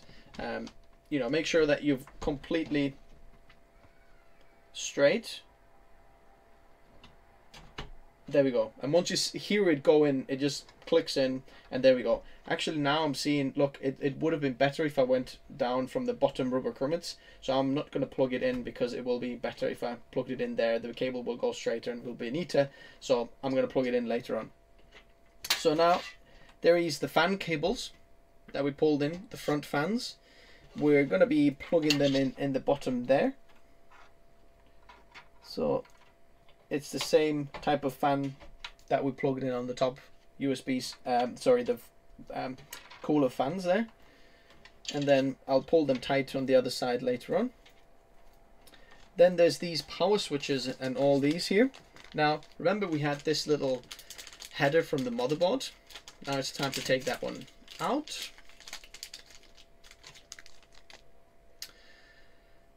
The mobile I have in D source about audio depends how much you want. Um, like the very high quality audio on the motherboard, it's usually completely fine. But just so you know, the front panel audio, often what comes from the front, is lower quality than what you get from the back of the motherboard.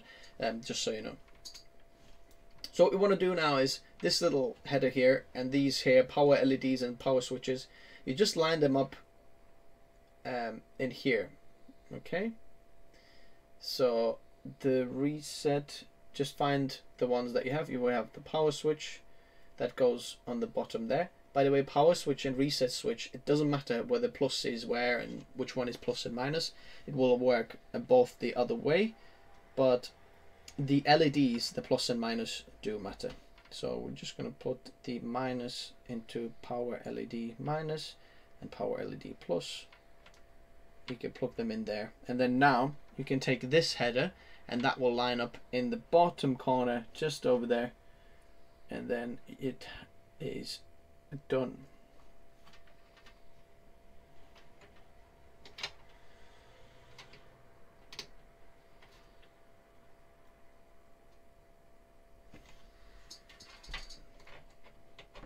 There we go. Now I can uh, pull them tight on the other side. Remember we also had this um, front panel audio that we push through on the bottom there. This header goes on the very bottom header there. It says AAFP on my mine there, but all you have to do is, so this is a bit of a tight fit on this case, push it in, pop it in, front panel audio, so now you get the microphone and headphone combo jack in there working. Okay, last bit, what we have to do is these CPU headers on the bot bottom corner there. Can you see there? They will go. Move the case. Perhaps you can see it a bit better here. So there we go. These headers there they'll they're gonna have to go in there. Okay. I'm gonna put the four pin in first.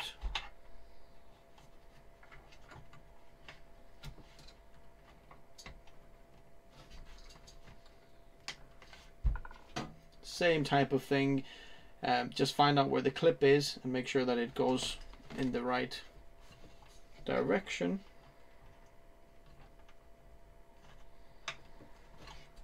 And then make sure it, it actually clicks and goes in and is not loose. Okay, both of these in there. Now we can take the case, pop it up and then now on the other side of the case, you can just pull the cables a bit through while looking on that side of the case, making sure that your cables are still plugged in, but you can push them a bit tight so that the excess will go on the back of the case. Remember, this is the cable that we wanted to push a little bit lower. This was the front panel type A header. Plug it in now again. Okay, goes in there these fan headers. I'll pull them a bit more tight.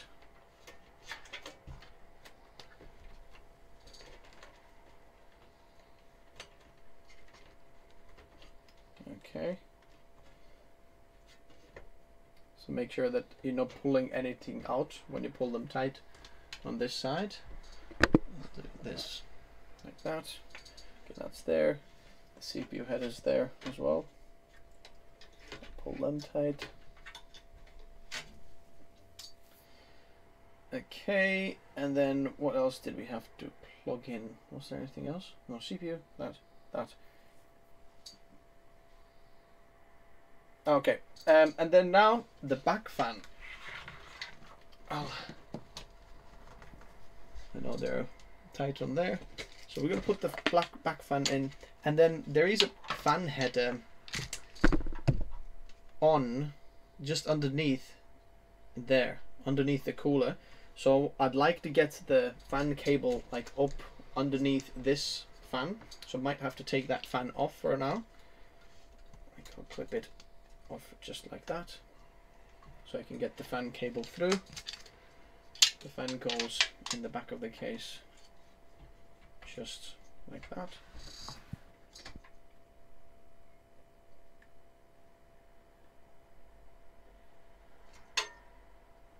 Alright.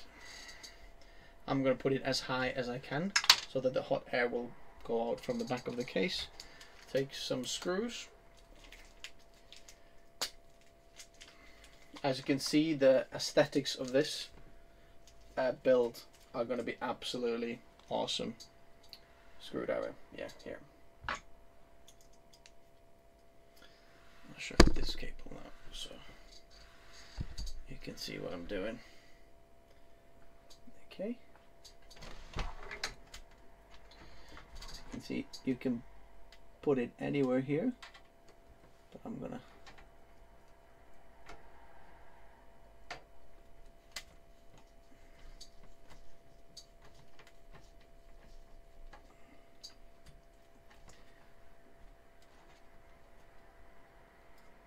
Yeah, Black Friday should be November. I can see people jetting there. Okay.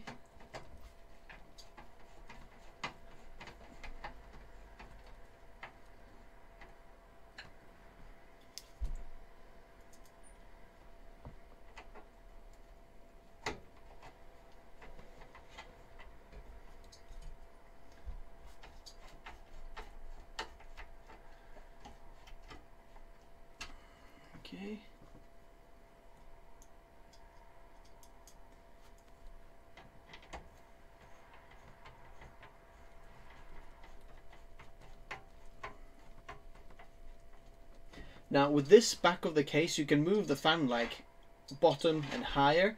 Remember this is the top of the case, right? But I want to move it as high as I can because that's where the hot air naturally is on the top of the case naturally there. And I want to exhaust it out I want to exhaust it out. I don't have any on the top of the case. Now we could add some more fans in there but I think this is plenty for now. The other hot air will naturally just go out from there but if we put it slightly lower it's just like physics you know we're, we're pushing the a bit lower air out. But now just whatever is on the high there we're just going to be pushing that out. Um, and then now we'll take the the cable for that and I'll push it underneath that fan there. Okay it goes from there there's headers just underneath there. I'm gonna pop it in there. Okay hide the excess just somewhere underneath there. And then we'll put the the cooler fan back now.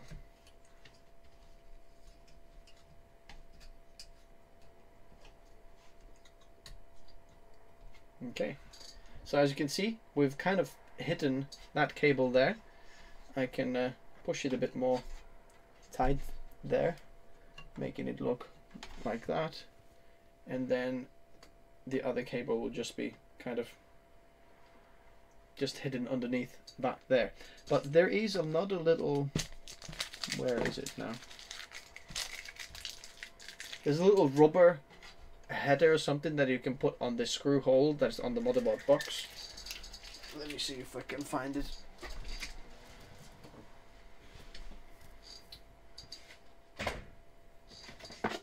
Did I take it out already? Don't think I did. It's just a little kind of sticker thing.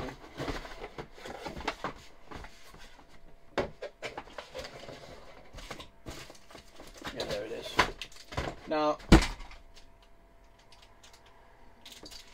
oops.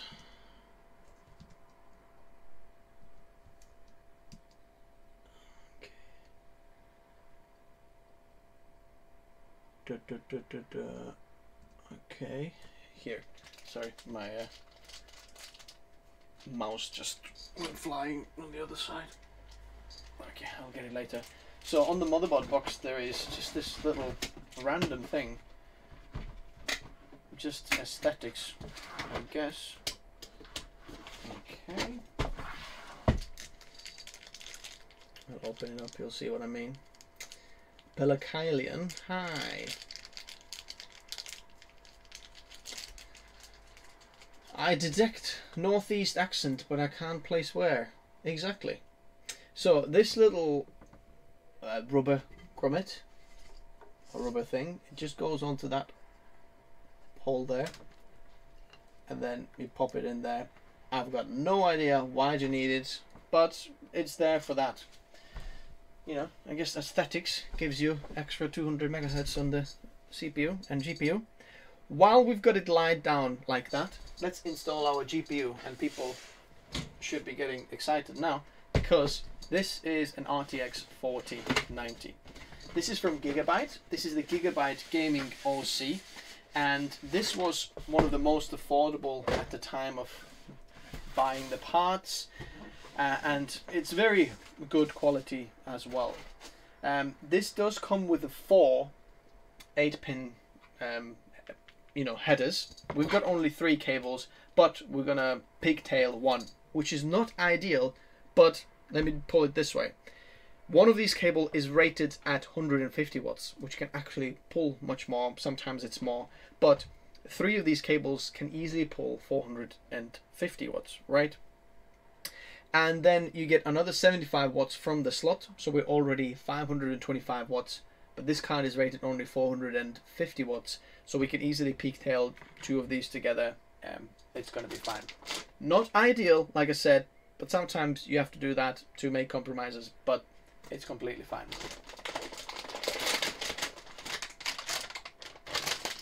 Alrighty.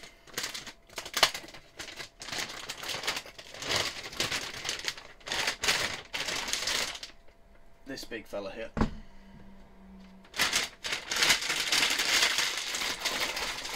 There is actually GPU support there as well, which um, I might actually install because it is a big fella.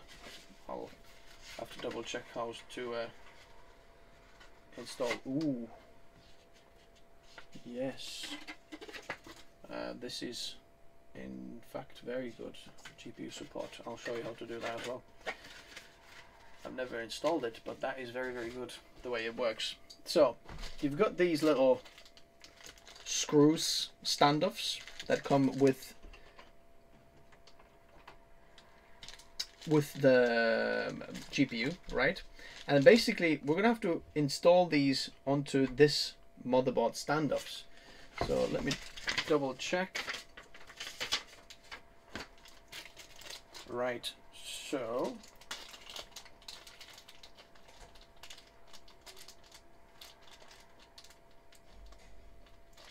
there's two types of standoffs that come with it. One of them that has a bit thicker uh, thread. And then one of them that has a bit okay we need these washers as well. So take two washers.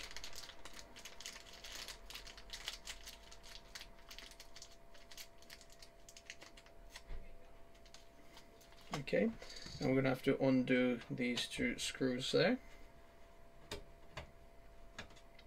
we'll undo that screw and then the bottom screw here.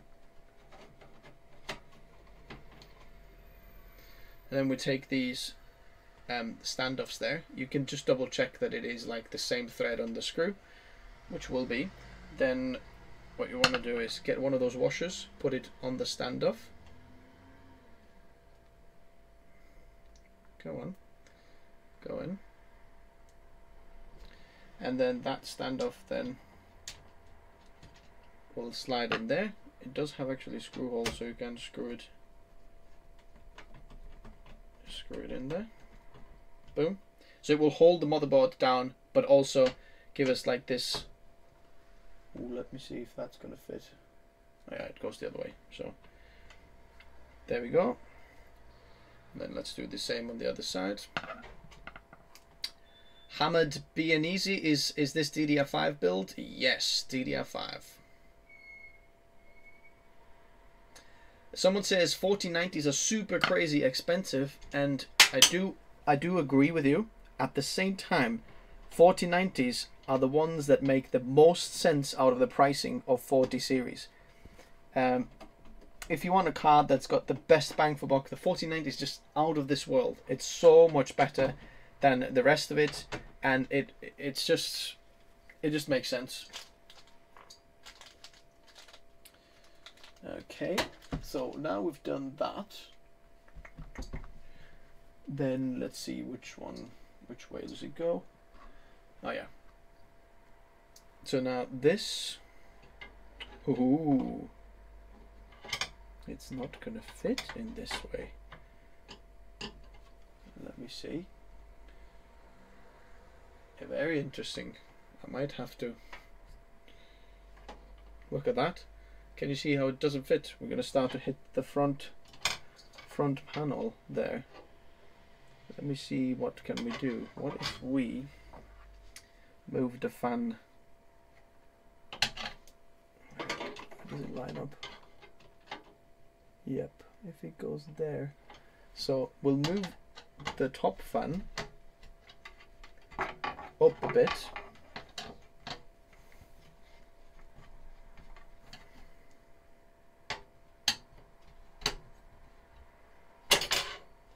And then the bottom fan down a bit, and then we should be able to slot it in there.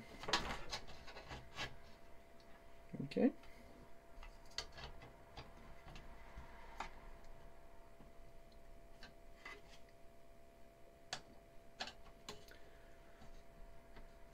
Okay, someone says Noctua somewhere. Not a Noctua 4080, to be honest. I'm a bit disappointed on the Noctua 4080. As much as they did engineering like underneath the hood and have more heat pipes than the TUF and that, I honestly see no point in that. That it looks a little bit copy paste uh, from the previous generation, and like the idea is copy paste from the previous one, even though the design underneath isn't copy paste, if you know what I mean. But it doesn't perform any better than any of the other ones. It provides like quieter performance, but it's so fine at 100% utilization or something like that. I'd, I mean, it's so so so niche product that it for like 99.9% of people, I don't see it make sense sense. Am I using anti-static mat? No, not really. Really, it's just a leather um, desk mat, but it's completely fine. To actually kill any of your compute computer components, um, because of anti-static, or like with static. I'm not sure if you've seen that video Linus did. It's very hard to do.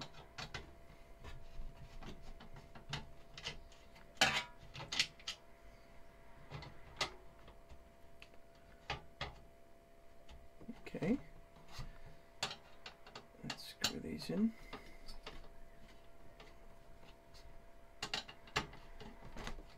Let's see if it now screw it back.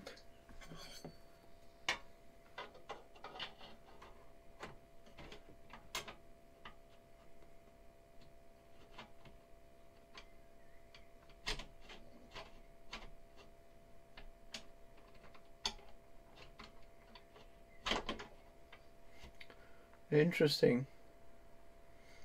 It still doesn't want to want to go in really. This anti-sag bracket. It doesn't really work on this case.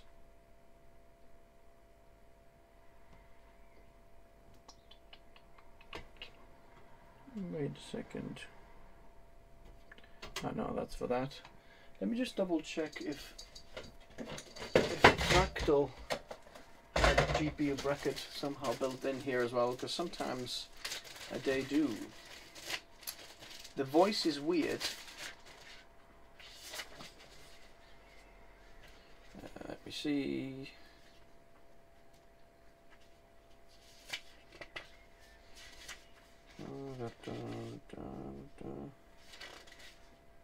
They've got some kind of tricks for GPU sag.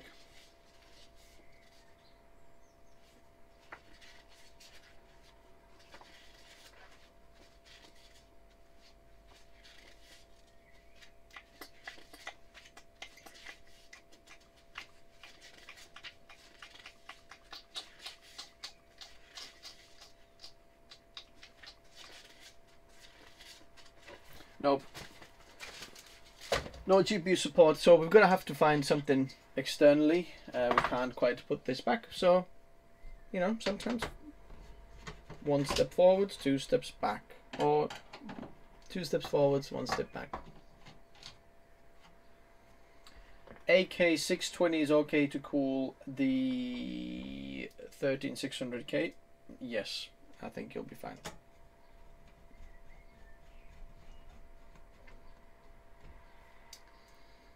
Any RGB for this build? Not really. The only RGB will be on the, GPU slightly, and I might turn that one off as well, so it will be kind of just black aesthetics.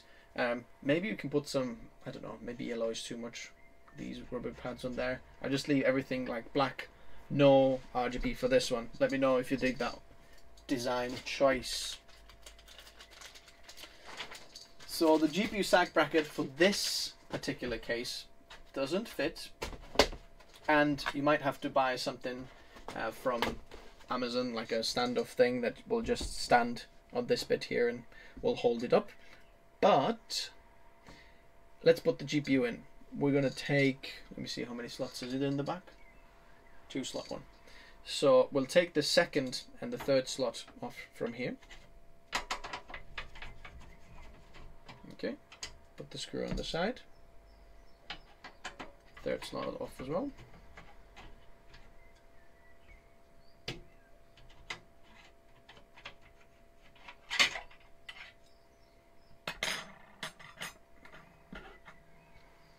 Okay.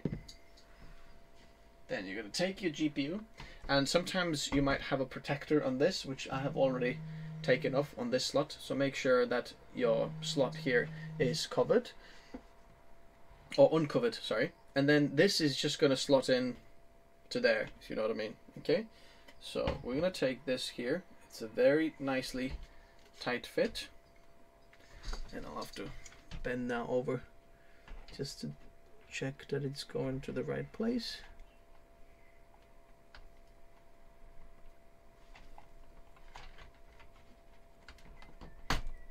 Okay, I want you're making sure that it does go into the slot. There we go. It's gone in. Oh, one more thing, forgot. So, to get it out, there's a nice little button there and then you can pull the GPU out. There's a little sticker on this uh, chipset. Pull that one out because that will just hold a little bit of heat and we don't want any thermals there. And then do the same. I just try to go on the side so you can see what I'm doing.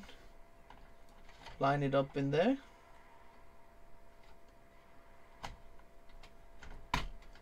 Okay, there we go. It's gone in. As you can see, it fits nicely a lot of the case. And because we've got this panel coming in here as well, which will cover most of this gigabyte stuff. So,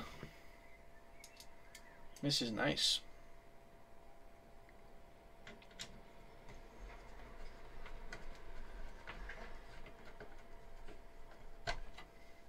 Okay these two screws in there as well. Sometimes, just a tip here, when you start to put these screws in the back of the GPU, think, it's not lining up. Then the back of the case often is a bit bendy. Just bend the back of the case and move the GPU. Just make the screws align, and then boom.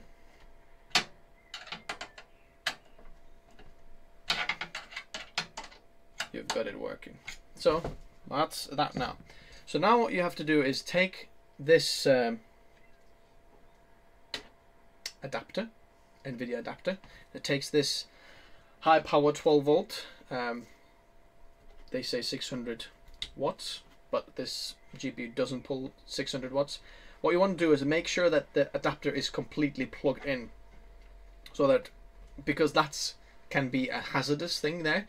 If you don't have it completely plugged in, it's half plugged in, that's the worst thing.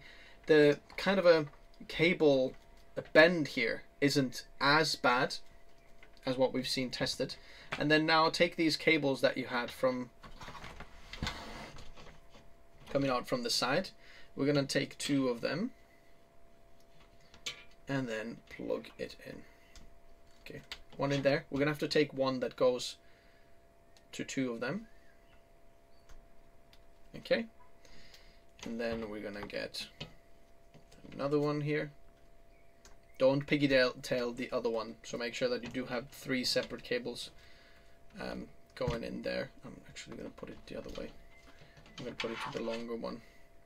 So it's this. It's a different cable, but I'll just use the longer one, and then the longer one. Doesn't matter which one do you use in the chain of the cable here, if that makes sense. Because like, if you look at that cable, there is one in here and one on the other. Both of them get power. They're like connected together. So whether you connect it to this one or the other one. So now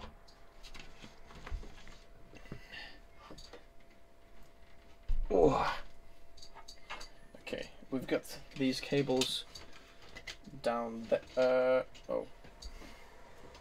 I forgot to screw that in. Okay, um... Let's see if I can... Can I screw it in underneath there? Perhaps. But uh, not really. Well, maybe... Maybe I can.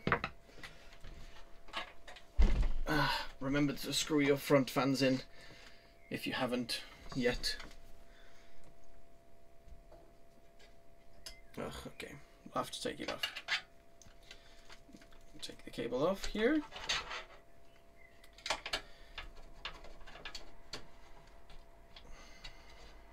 Okay.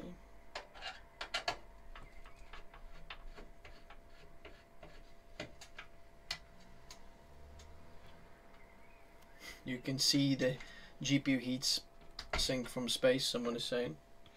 Okay, that's out, that's out. We'll press the button there. Pull the GPU out. Put it there, and then let's fix our fan screws there. So that doesn't go in there. Put the bottom fan as low as you can. Well, actually, no, I want it. GPU will be fine. So I'm gonna put it there.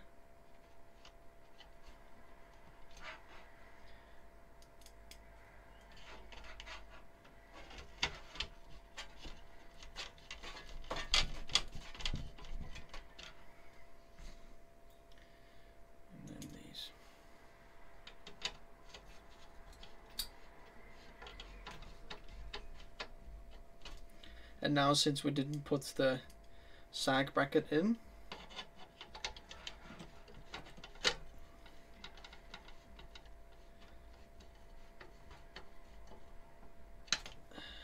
I'll just pull the top one back down again.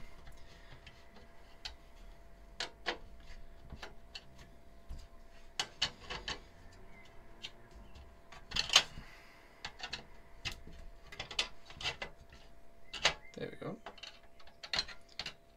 Push this down.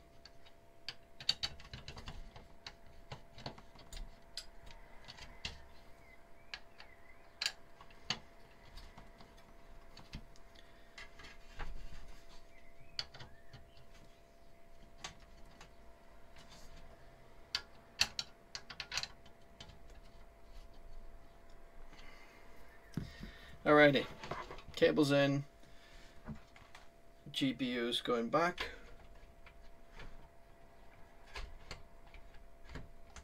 There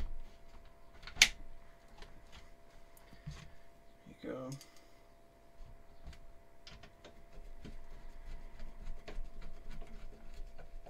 See, I had to bend the back of the bracket here as well to get it fully lining up with the screws.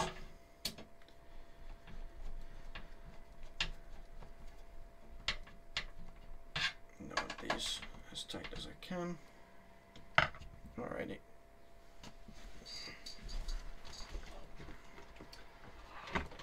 Okay, there we go. Now let's take this power cable again here. Push it in, make sure it's properly in, okay? And as you can see, there is a bit of sag from this angle.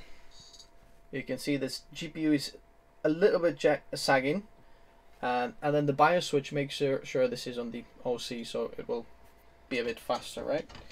And then we'll just pull these cables all to down there. Pull them down there.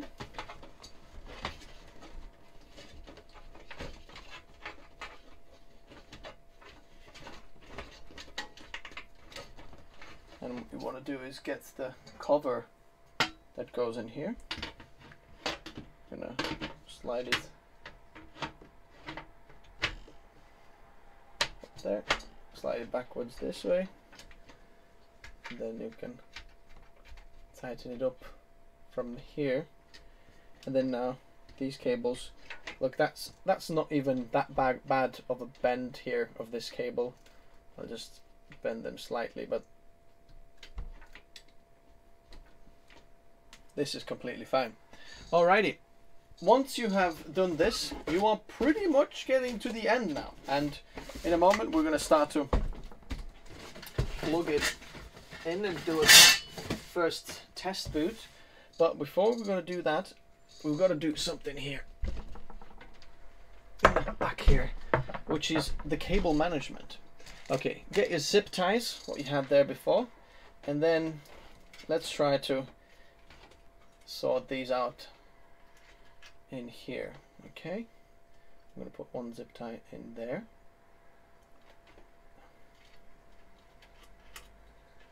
Alrighty.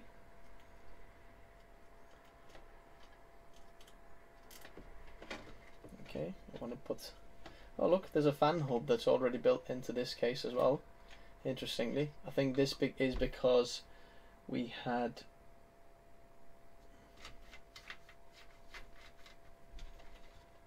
Oh yeah, okay. The fan hub cable off, I got scared that I plugged in the wrong cable. That's the fan hub cable, so if you have loads of fans in here, you can just put them in the fan hub and that will work as well. But right now, I'm just putting the zip tie there to tighten these cables there.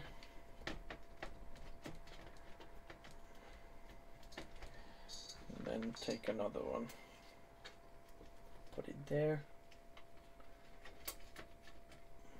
Okay, let's see if there's any question now buy CableMod adapters. Yes, that's another option there to get the adapter. Or if you've got a power supply that's got already the 16 pin high power watt cable or 12 volt high power cable, then you can uh, just use that one as well. Okay.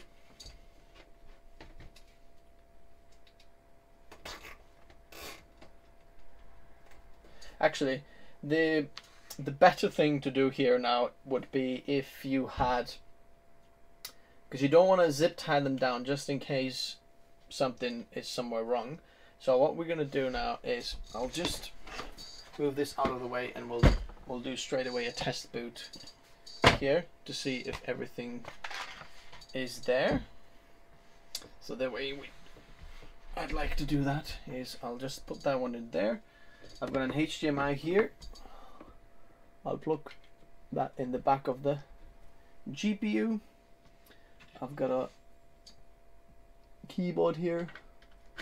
I'm going to plug that one in there. Keyboard, who's ready for the test boot? Will this be an ideal DAW build as well?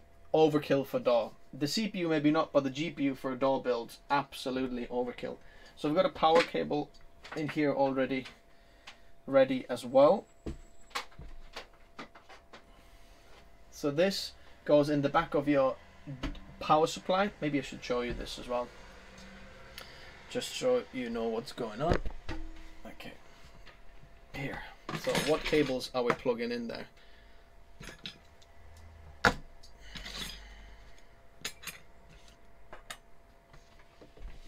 Okay.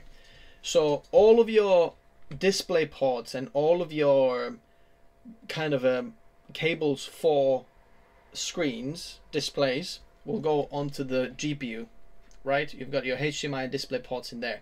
If you want video output, you could also get it from GPU to the motherboard and then you can get it out from the USB-C as well. It should work with integrated graphics as well already there as well, so USB-C video output. But then all your peripherals you plug in there, and the Wi-Fi antenna you can see two uh, golden headers in the back there. Uh, you can just plug them in there. But now the power supply cable goes in there, so I'm going to plug it in there and then flick it on. So I'll put it this way. So you can see, we'll plug it in on the bottom and then whack this on. So the power supply is on. Now in theory if I press the power button on the top it should turn on. Let's see. Voila it is turning on. I'm going to put it a bit sideways so you can see the colors of these on the motherboard there. I'll put this there. So now this is the power or sorry the video output from the GPU. So we can see the yellow light in there. What that means is now it's checking the RAM and it might do it a few times. It will stay on yellow until it goes to next one is white, which starts to check the GPU or VGA. And then it goes to green, which means post and booting. Okay, look, it checked the RAM. White checking the GPU. It went off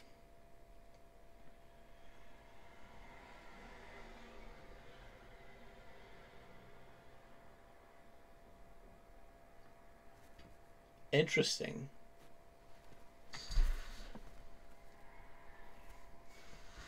Okay.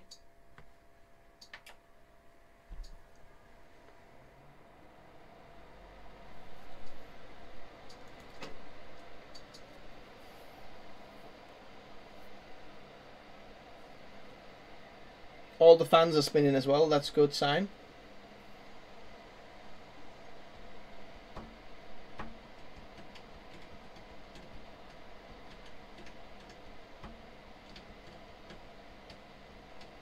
Checking the RAM as you can see, yellow light there.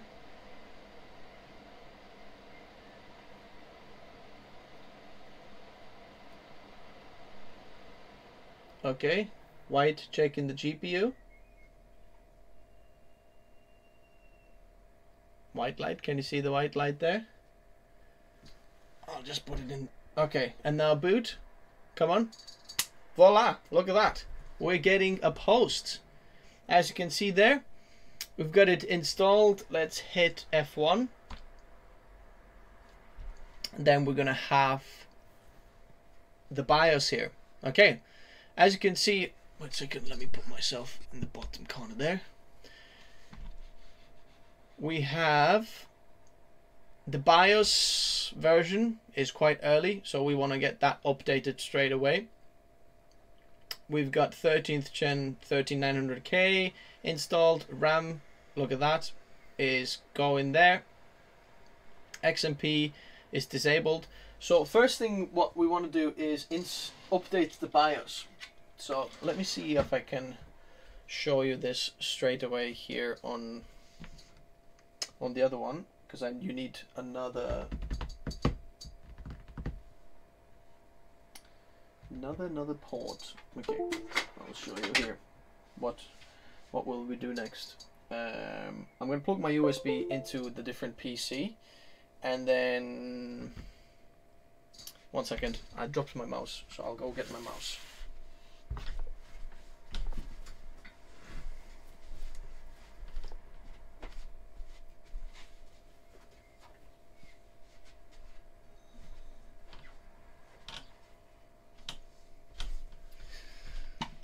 Okay, fix the screen. What's the screen? What's wrong with the screen? Screen size. What do you mean? Everything's fine. I know, I'm small. I just want to show you the BIOS because I need to show you this. Okay. Uh, oh, I might actually have this one here. I'll just show you regardless. Let me see if we can go here. Um, okay.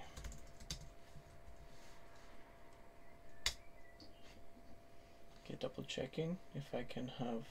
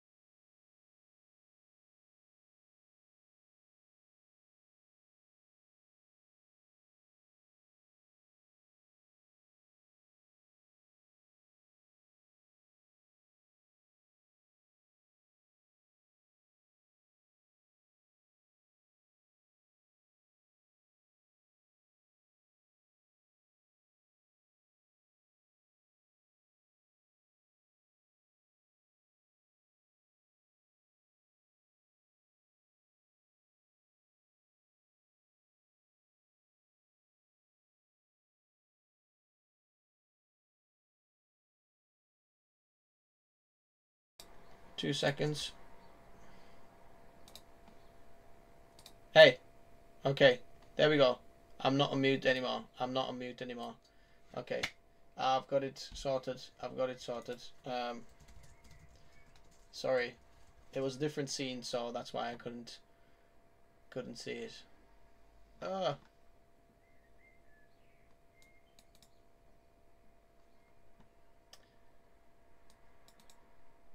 Guy's been talking to myself, Luke. A little, uh, hey. Why are you breaking my balls? Uh, okay. There we go. That's where we get to the BIOS here. Look at that. That's released a few days ago. 09. This one here. We're going to download that. I'm going to show it in folder. Right click, extract all. I'm going to extract it.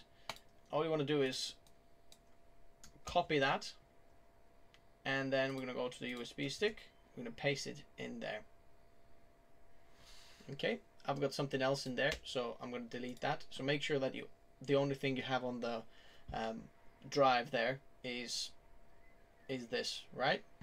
So then now once we've got that drive clicked in there and just double check it there. Okay put you guys back in here. And then now we're going to pull this from there, plug it in the back of the PC or in the front of the PC, doesn't matter here as well. I'll show you. Okay, and then we'll go here. Okay, we're back on the other PC BIOS, right? The PC that we just built now. What we want to do now is I'm going to hit F7, if I remember correctly. Yes. So F7, and then we uh, we're gonna go to Tool, and then ASUS Flash there. as you can see already, it's found the storage, my storage USB there, and it's got that file that we just copied into there. So we're going to click on that. It says, yeah, BitLocker, blah, blah, blah. We're going to go, yes. Do you want to read this file? Yes. Do you really want to update the BIOS? Yes. And then now it's basically updating the BIOS.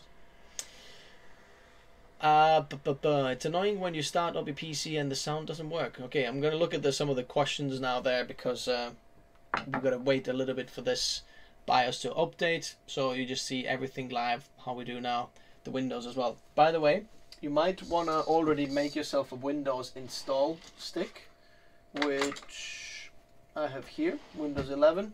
I'm gonna show you how to install that as well and how to get past no internet um, option there. And where was our... Oh yeah.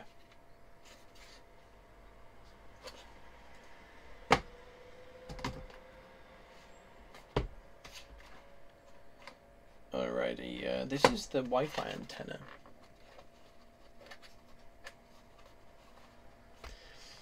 Tech Notice, can't you just update the BIOS after you install Windows or is it better to update beforehand? I just do it the first thing, like you start from the, you can do it later as well, it doesn't matter, but I start from like the lowest systems, right? You've got BIOS is what works with your hardware and whatever, and so I'm going to update that first. Oh, noticing that slightly an angle there, alrighty. Um, update the BIOS, and then move on to installing Windows and everything ready. So I'll, I'll get everything ready in BIOS first. I mean, this is already so quiet here. The fan curves and everything, I might just leave the fan curves however they are on BIOS because this is going quite well. Uh, what we can do whilst it's doing that, optimize the BIOS. Yeah, let's let's go for it. Next thing.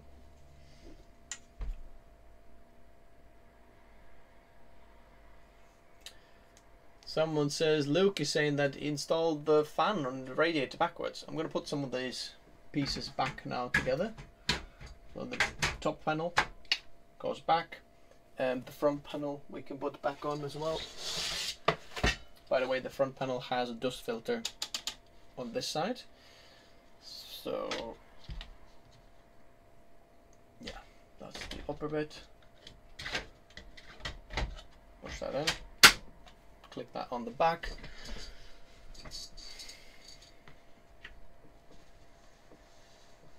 One of the scariest thing in the world is updating the BIOS. Um, it's alright. Okay, I'll do the this a bit later.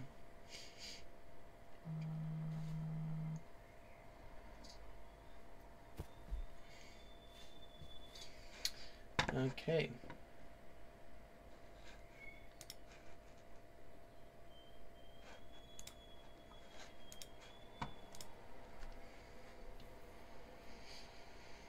Alrighty. Um, I'm not going to touch the back right now yet, just because, just in case I move the power cables, you don't want to lose the power while updating the BIOS, because that's uh, a bit crazy. By the way, I'm not sure if you noticed, but I should be streaming at 4K, and that's due to because um, I installed the 4070 Asus TUF 4070 for the PC that's streaming here right now, and I'm streaming in AV1, which means that I can save on uh, the internet bandwidth and get still very very high quality foot footage. Um, okay, what's going on? We have no fear messing with the PC while BIOS updates. Yep. This live will be available later. Yes, this will be published on the channel. You can just you have to find it on the live videos there, but it will I will leave it there so people can come back to it and see how to do it. When BIOS updates, I'm praying it doesn't brick. Oh yeah, it feels scary, but it's all right as well. Okay, update successful. Press enter. It's gonna restart now. Is it best to go into BIOS to update it or flash BIOS with a USB without CPU and RAM installed? It's fine. By the way, you can BIOS flashback also uh, with the CPU and all the components installed as well if you wanted to. But you have to rename the BIOS, and sometimes, um, you know, if you don't know how to do that, the actual file, it has to be certain file that you update in there. Oh, interesting, it doesn't restart itself. I'll just have to turn it on myself.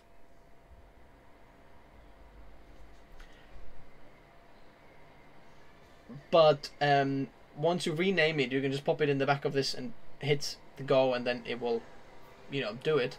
But I just like to visually see what's going on. Like I can see the bar going, I can see that okay, it's done, it's restarted. If I just update it there in the back, I don't know what's happening. Something flashing, then stops. It starts, so that's fine. There's a big delay with streaming in 4K. Yeah, I thought about the delay at 4K but I uh, what's what's the let me see what's the it's gonna have to restart many times now. Just want to check what color is it. There okay yellow. Checking the RAM. You might have to press it or turn it on a few times. Interestingly for some reason this PC right now is not restarting itself. It's like turns it off rather than restarting which is Interesting.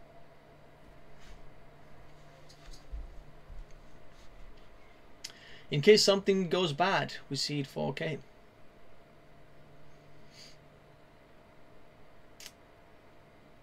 Yeah, 3900K, no problem. Okay. Let's turn it back on. Does it turn itself back on? No. It's it just trains the memory so many times we'll see what it does. As you can see, it's on the yellow again there. I'll go this screen so you'll see it big. Yellow light.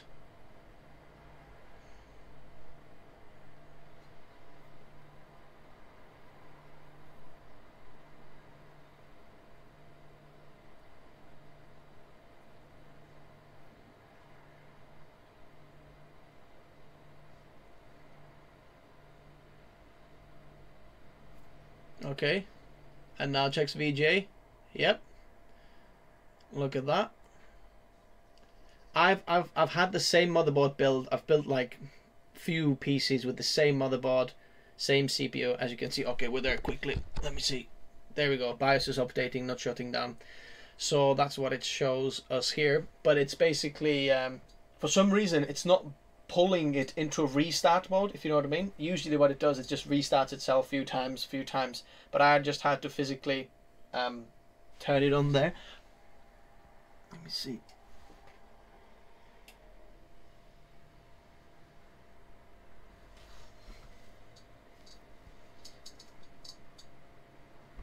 I don't know.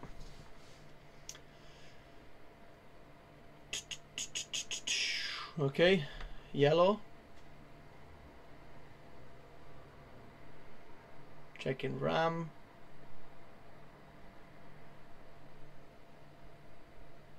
You think it's a bit noisy? Someone is saying, can you hear the fans? Okay, what are, what are we checking next? Look, white means VGA, green means post, and boom. Okay, let's have a look at this.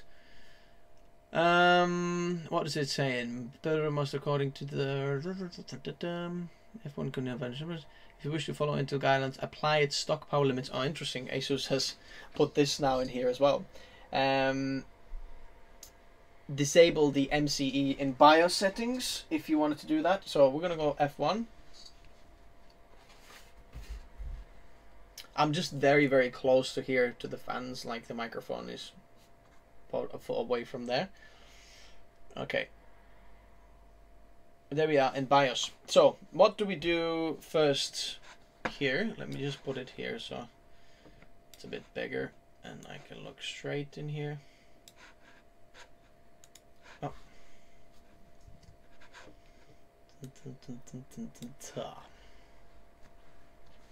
Okay, what I would do is enable XMP right? Come on. The, the, mouse is always a bit weird in there. Okay. You could do fan control uh, on there if you don't know how to do that. Um, have a look at my guide on how to optimize fans, right? Another thing we're going to do is hit F7 again. We're going to go AI tweaker. Let's have a look if they've got XMP tweaked. Oh yeah, look at that. What you can do now here is XMP tweaked. If you hit that one, it's basically that Asus on the board has already tested this exact memory kit because they know that you've installed this one and they have tuned it even further to get even more optimization out there so you can get the XMP tweaked out if you want. XMP2 is what the memory, memory manufacturer has loaded on the RAM kit and you can add that one and then XMP1 is like Asus uh, BIOS optimized I think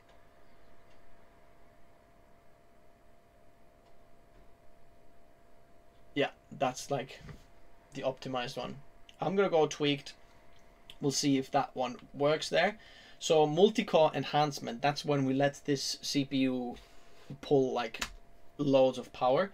We're gonna go enforce all limits because we're gonna pull only 253 watts. So we're not gonna let don't pull all of that uh, power, you know, because otherwise it's gonna pull more than 300 watts.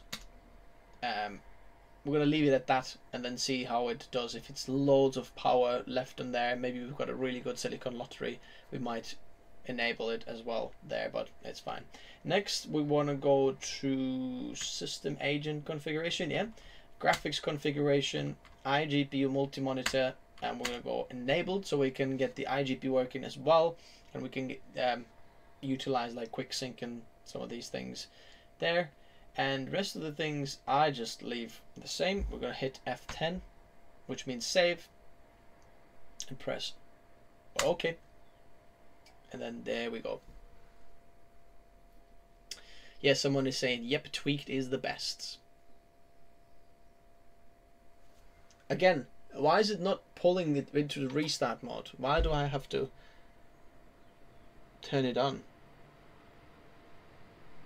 That is so random. That's the first time I've ever seen this do on the PC. Whenever it restarts, it's not restarting. You just have to press the button, which is interesting. Is Tweak the best for AM5 too? Ooh. Well, that's a bit of a hot topic right now uh, because of the AMD and Asus and what's going on in Tweaked. Because they might put a bit more voltage in there, but on Intel system, I would say yes. On AMD, ooh, I don't know. With other mobile manufacturers have same settings? Uh, kind of, yeah. Well, the XMP 1 and 2 will be the same, but then they might not have the tweaked one. That's like what Asus just gives extra. Okay, there we go. Already booted, and the XMP worked as well. Uh, Alright, so what we're going to do now is I'm going to pull in my uh, Windows install stick. So if you don't know how to make this, there's a video on the channel, right? I'm going to pop it in there as well, so you see that I've got it installed. And then we're going to hit F10. It's going to restart it again. It's going to see that there's Windows installed there. And then we're going to install Windows. What I'm also going to show you is how to get past, in like logging into the um, like Microsoft account and how to get past that. Let me just double check the command. What was it?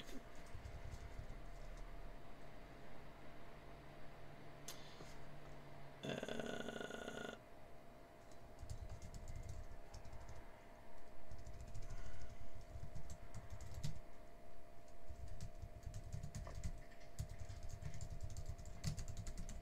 just double check what was the uh, yeah there we go. Just put that one in there. So I can see that. Alrighty. Okay look at that. Come on. Let's have that Windows logo there. There we go. So now we're gonna go Windows there United Kingdom United Kingdom. We're gonna go next. Install now Ramesh is saying BIOS iGPU enabled is enabled the Intel iGPU. Yes, it's turned off by default usually on BIOS, um, and just because it's meant for you know gaming at first because you don't want to use the iGPU because you've got the RTX 4090, which is not actually true. The iGPU has extra power for creators because it's got better codec support. But here, activate Windows. I don't have a product key. You can always activate it later. Just put no, and then we're gonna go 11 Windows 11 Pro, uh, not Pro N, and we're gonna go next. Accept, next, customized, and now you can see two drives there. Remember, we installed the one terabyte drive on the upper slot, which is connected to the CPU, and that's where we want to install the Windows. So we're gonna click on that one, and then we're gonna go next, and then it copies Windows onto that drive and pretty much we've just installed Windows. Let's let's see what's going on. Um, will the 4070 price drop if 4060 released? 4060 Ti will come first, but uh, probably um, soon. There's some rumors of the 4060 Ti. Can't say nothing for sure yet, but uh, that's coming first.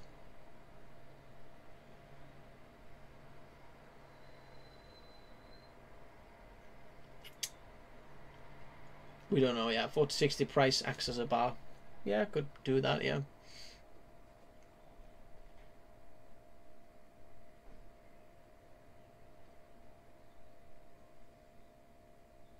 Uh, Michael is saying, what about 12700K and GTX 1060? No, it wouldn't get wouldn't get to toasty. Let's see now if the Windows restart will work on this.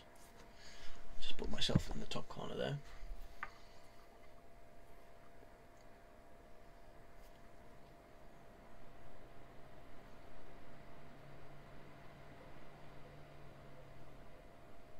Yeah. What is this? Windows restart works, but Asus BIOS restart doesn't work. That's the most random thing I've ever seen. There must be some kind of glitch in the BIOS. Um, I don't know why this is. Okay, now we can see how to install the Windows. Just wait a little this.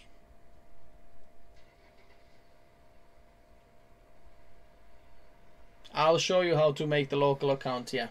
Just two seconds. Don't worry. You don't have to. You don't have to uh, sign into Microsoft. I'll show you.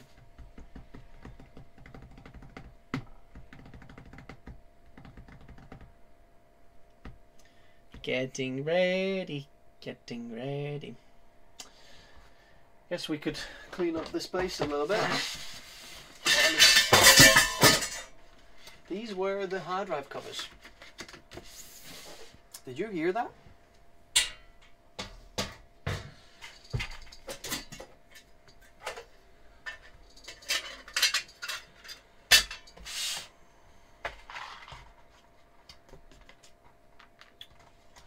Okay, I'll put the back PCIe covers on the case accessories case as well. Okay, that's that.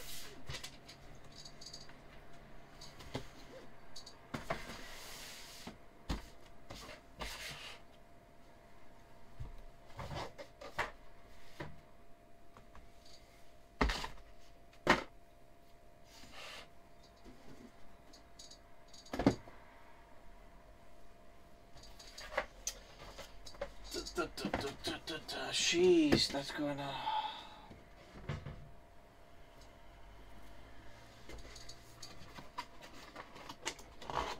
What Intel CPU, Ramesh? Okay, there we go. I'll show you what to do next now. Okay, hit enter, United Kingdom. Yeah, go on. United Kingdom, go on then, give us that. Skip keyboard layout, don't need that. Now it says, let's connect you to our network, okay? What you want to do is go Shift F10, boom, it's going to bring out this. And what you want to type in there is O-O-B-E and then backslash, oh, pants, come on. Uh, there we go. Then we go O-O-B-E, a backslash, there we go. You go bypass NRO. Okay, and then hit enter, and it's going to restart and check this out now. Uh, for me, ambient temperature in this room is 26 degrees, 26.1 degrees shows that. Look, it's going to restart, and then check this out.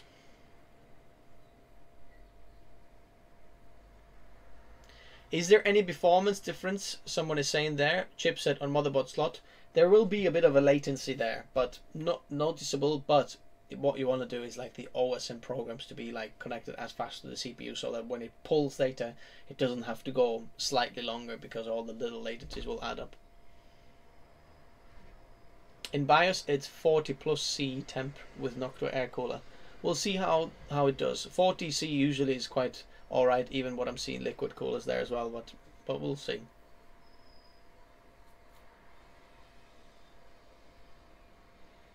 Had a call of nature. Did I miss anything?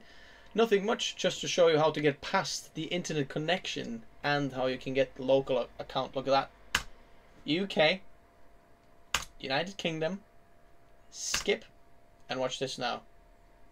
I don't have internet. Now this is what you can do there. You didn't have that option previously. Continue with limited setup. You're gonna get that, and you don't have to sign in to make Microsoft account. You're giving a big uh, middle finger to Microsoft. Sorry, Microsoft. But enter your name. We're gonna go uh, and type this Z790 Pro Art. Oh, I don't think I can have a space in between there. Next password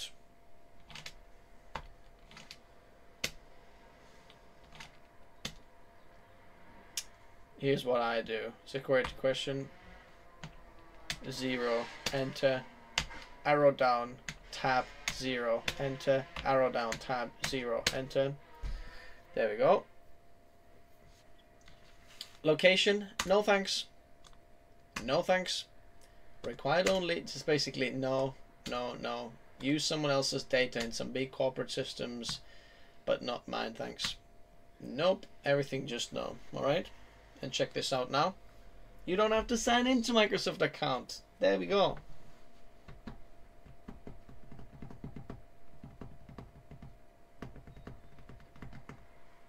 Voila, we are on Windows. So you'll never have to sign into Microsoft and then it's going to ask you another million questions. Just say, nah, local account, thanks. See you later.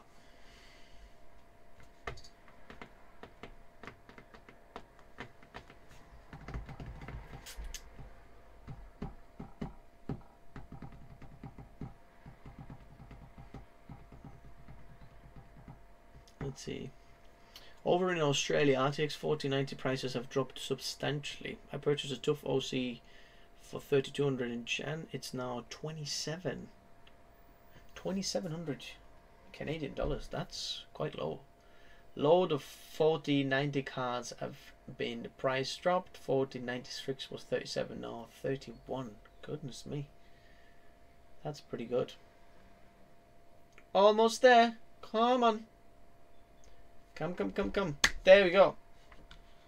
First thing is going to say download Armoury Crate and LAN Driver. And I'm going to say... No. First of all, I'm going to have to log into Windows there. Because... Uh, sorry, I'll have to log into get some kind of a internet connection going. So yes, okay, we are on the internet now. So now you can connect to internet. Don't connect yourself previously. We're gonna download the driver and all that. Okay. One thing we're gonna straight away go to Microsoft Store. I'm gonna start pulling lots of stuff there. Let me show you how I set up Windows and things as well. This is half of PC building, right? So Cinebench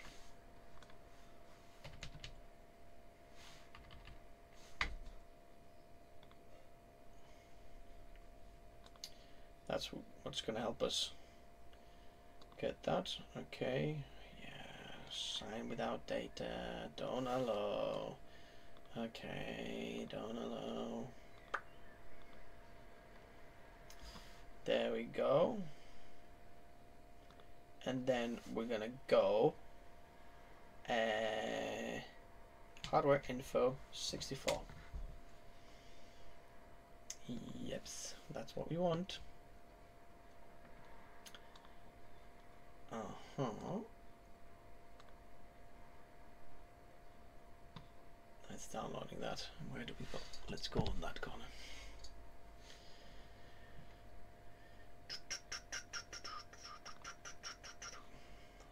Okay. Uh, first thing what we want to do is hit start key, check for updates. Yes, let those Windows updates go. I'm going to install the Wi-Fi antenna as well because I'm going to get better. There.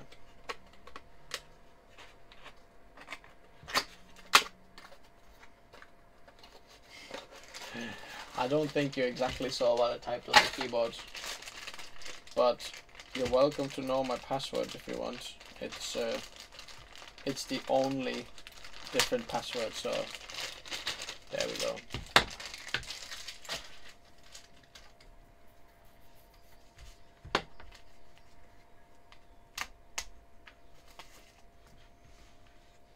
Installing the Wi-Fi antenna. It's magnetic as well, by the way.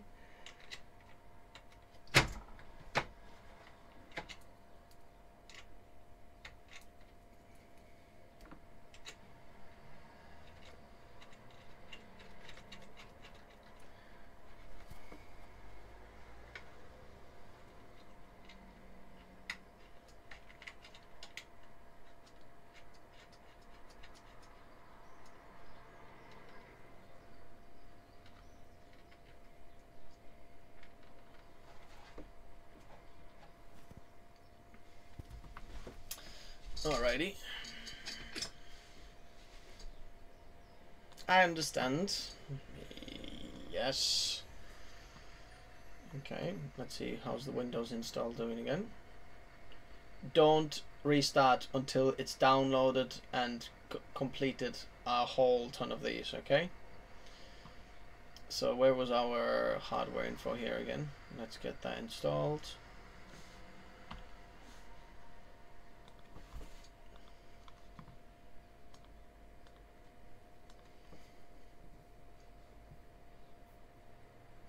Build computer one hour, install OS one hour, uh, updating Windows four days later. Okay, sensors only. Now we can see if the PC is correctly going. Oh, actually, do you know what? I've got this filter on here. That's why it's a bit. Where is it? Okay, is that better?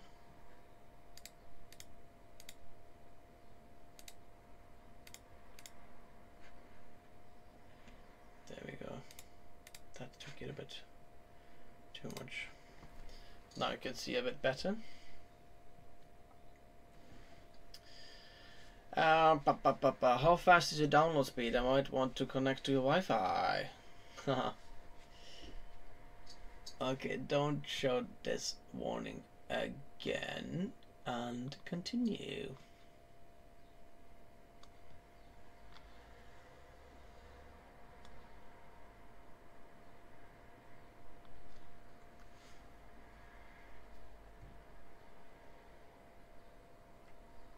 Okay. Oh, that was the graphics driver. I thought, what the heck was going on? Did you see that go black? It was a graphics driver there. Okay, let's have a look. What's the temperatures like? We've pulled 163 watts max, and then at 77C, let's go temperatures. Max boost clock's 5.8. That's what I want to see. Um, alrighty, let's get everything set up here. Armoury crate, yeah, let that do that.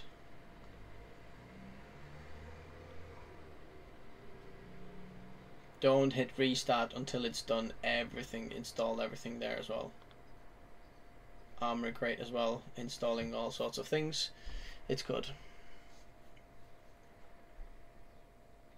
Oh great. Armoury crate. The most legal malware you can have. Yes but there are some benefits why I'm installing this and I'll show you in a moment. Okay what's inside of hardware info is important to look for? Alrighty let's have a look then. So hardware info is basically um, a program that will show you everything how your hardware is working. All the sensors that are all over the motherboard, CPU, GPU, RAM, everywhere. We can read them through this program. It's free for everyone to download and then just put sensors only. So here's what we can see on the top here. You can see how much RAM, for example, has been used, um, utilized here. You can see physical memory used. We've used maximum 10 gigabytes there, 10,500 megabytes, which was 10 gigabytes.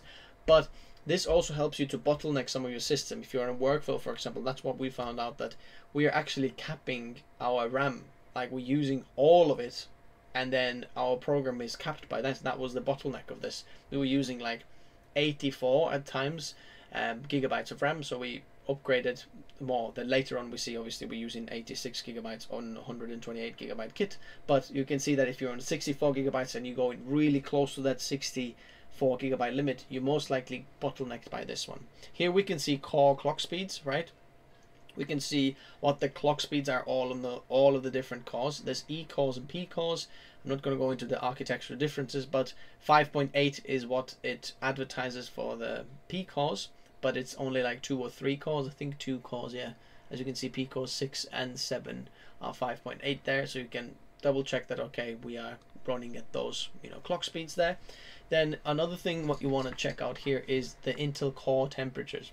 So if you do that bigger as well, you can see individual CPU core, how hot are they, and if anything is thermal throttling. There is thermal throttling here as well. To call thermal throttling right now, it's showing no, but if you maximize this bit here you can see every single cause separately how to um, if it's thermal throttling or not which cause are and so on. We're going to reopen the app. And then here on the CPU package here by the way don't look at CPU package because CPU package temperature here will show you the highest um, sensor thermal thermal oh, ooh that's why it was weird Sorry, is this better audio now? Sorry if my heart. Man, I can't believe I've had this on all this time. Sorry guys. This is random. Now it's now it looks much better, doesn't it? Goodness me. How did I have the other random mic on as well at the same time? I know I died a little when it went black. It's just in uh, window, Windows installing some of the NVIDIA drivers as well, and then when it does that, it goes black. Um, so we're going to go scroll down, agree, yes, which basically says, yeah, you're going to give your warranty away. No, you don't. It's, I'm joking. Never show again, go cancel. But what we want to do here is this little toolkit there will show us all the latest drivers so you don't have to pull them manually from the um, you know website so we're going to get all of these management engine Wi-Fi and all that we're going to click download and install. So it basically installs everything and all of this automatically, everything that you need to know. It's so simple to get all the drivers sorted. Armoury Crate, tools, install, download all. There we go. Sounds so quiet. Okay, let me turn it up a bit. Is that better? Now? Okay, check, check, check, check. Sounds a little bit better now. Alrighty. There we go. Sorry, I just had this random thing on there as well. It's the other microphone that was turned on as well, but now it should be a bit better in terms of, um, yeah, it should be better now. Let me know how it goes now. Is it better now? Is it better now? I can, let's see. Better now. Too low, friend. Maybe you were just used to that bad audio that I've been, uh, that had it going previously. Because that was too, um, too high of a microphone. Yeah, it's better now, yeah.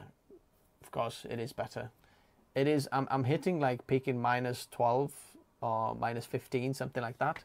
But it's, it, it is better. Okay, it's installing all of the drivers there. So I'll let it do that. And then Windows is doing stuff as well here. Everything says completed, but it's pending restart. I'm going to wait for it to... Uh,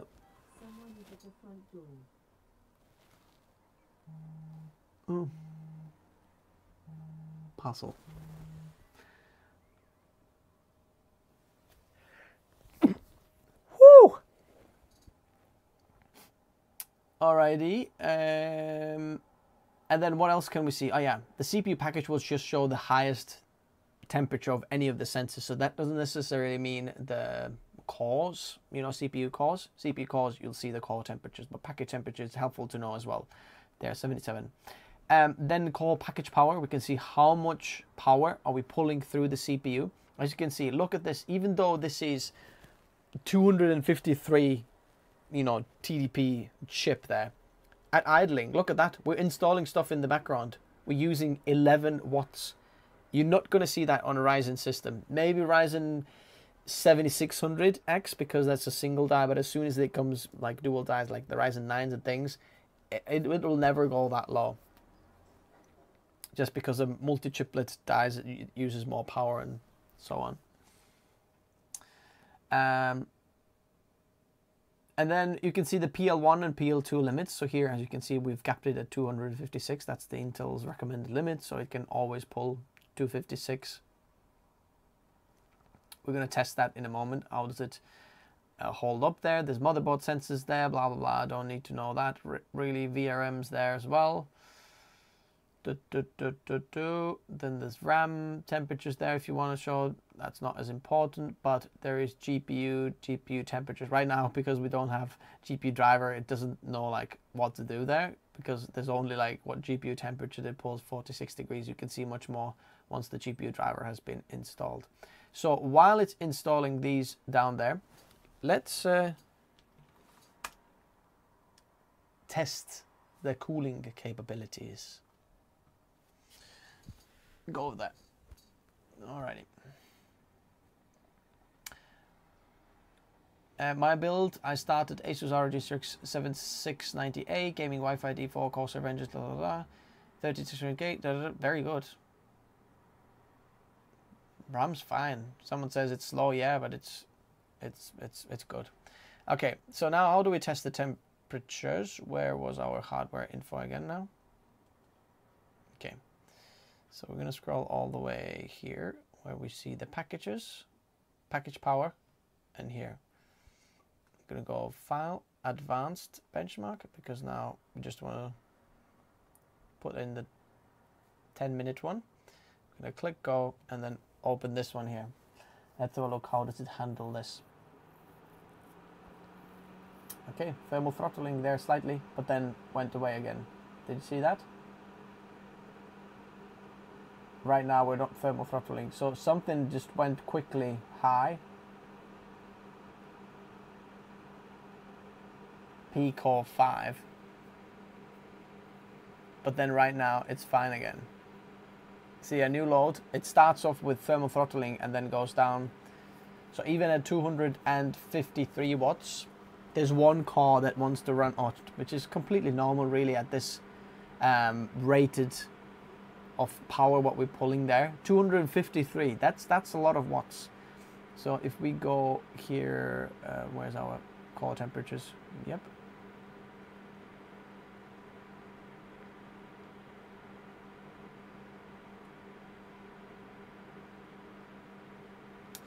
So as you can see, P-Core has gone 97 degrees and has thermal throttled. P-Core 7 there as well. Let's see if they have thermal throttled. Interesting, all of the P-Cores thermal throttle and then go away. So what's it trying to do then at first? What clock speed is it trying to run? 5.2 on all core?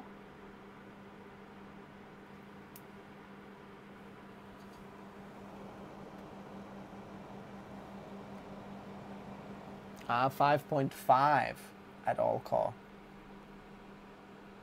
But I think we're power limited. So interestingly, we do thermal throttle a little bit. Let's have a look at the score there. 33,000 with all stuff going on behind as well. Not bad.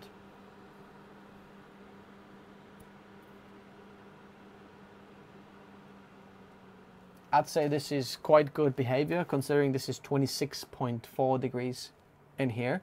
Um, in England, that's quite warm. Uh, okay, 3 degrees C.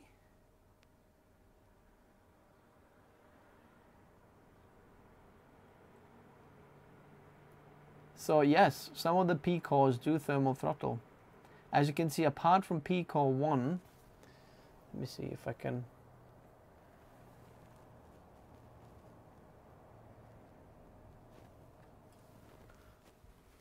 Will I undervolt the CPU? Absolutely not. Yes, if you wanted to get like the optimal performance, but for me, the stability is much more important than getting any of this across. Okay, while it's installing that, um, we can continue doing the cable management in the back there. Just basically line them up, something like that. I think I'm just going to leave them them there. We'll do a GPU test there as well and see if everything's fine. Alrighty. Let's see the back panel. Oh, let's let's cut the zip ties. Restart now? Yes. Okay. Let's restart now.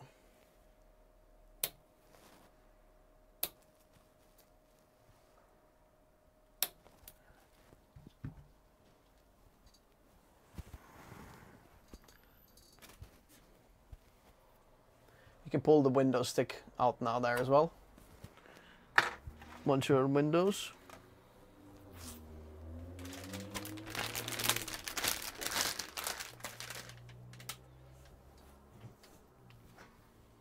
Let's put this back panel on. Um, I could be losing performance as well because I don't have the panel panels installed because right now it might be blowing the air like out from the side which might actually compromise a bit of the performance as well so we'll try that. Unfortunately, this is still a mesh panel. Okay. But it will still help a bit.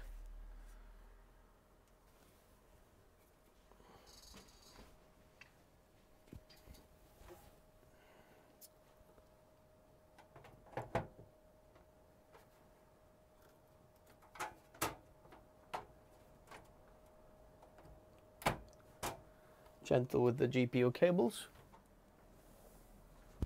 And then need a bit of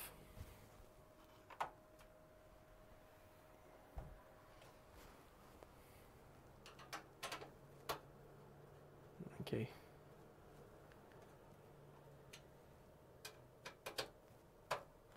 screen. Did you see that?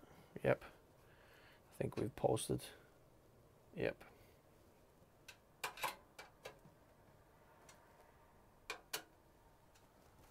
Alrighty. So now all panels are installed. Let's see. I notice a lot of tech going on around there. Yeah, what what do you see?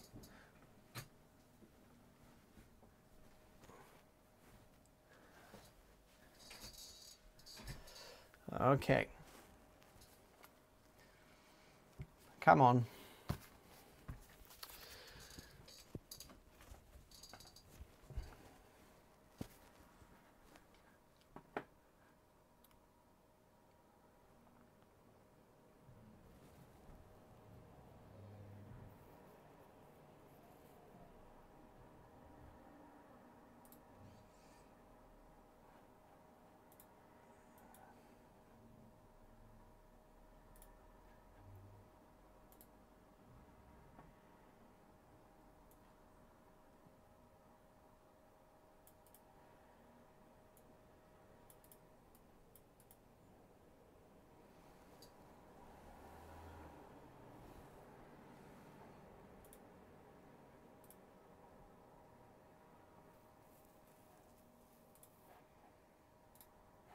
Come on.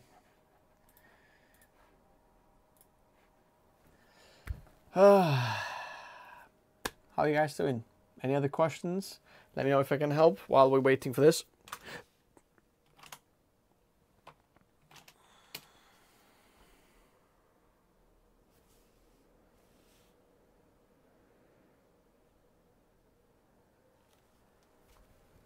Hello. Ah, we're starting up. Could you use the front of the case to uh, as a cutting board to dice some carrots? Sure thing. But look how nice this is. Okay, let's see. Uh, window. Oh, sorry. Check for updates. It's most likely going to find some more. I promise you that much. Uh, let's click again.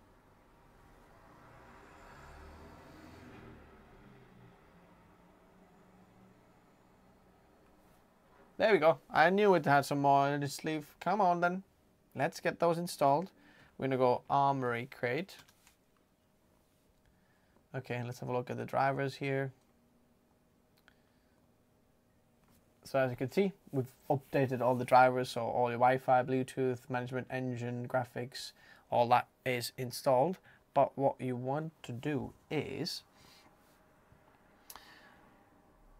um, Y&K Visuals just bought the 13700K right now. Had a 75 euro discount. That is good. Uh, why is Asus looking for Incredible? It's a good question. I guess they haven't found it yet. Uh, bu bu bu what was your secret to running 13 with air clearly? It was BIOS settings? No, I'll show you let me see. What did we do next? Yeah, NVIDIA drivers. Got distracted by Donald Trump there. Official NVIDIA driver download. GeForce 40 series, 4090, Windows 11. Not game ready, but studio driver, my friends. Because we are creators, we want that, not the game ready drivers. Okay. We're going to go search, download. Yes, please. Download. 572 gigab megabytes. Let me see how much was it. 854 megabytes. Whoa, it gets bigger and bigger.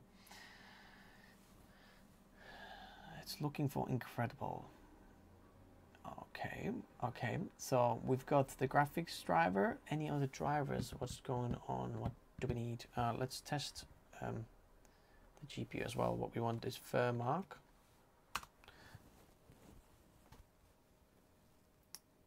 Downloads. Okay, fine. You can have my cookies. Give us the download page. There we go. Okay. NVIDIA is downloaded. Of course, Studio Driver. Did I update the graphics drivers? No, it's just Windows updating some random version of the graphics driver. This is definitely not the biggest one. The graphics driver you have to um, install separately. So you'll see this now once we go there. This is the latest driver and you'll see this is not the same version of what in, in um, Windows was giving us. Yeah, the studio driver can still run games, no problem. Um, but it's just gives you, it's been tested a bit more, the studio driver with some of the like create applications in 3D, 2D, video, all that. So we're gonna go here, NVIDIA graphics driver, because uh, no, we don't want the GeForce experience. We're gonna go to custom, advanced, next, perform clean installation, and as you can see, the current version is 528 that Windows gives us, but the new version is 531. Okay, we're gonna go next. Studio drivers for the win. Absolutely.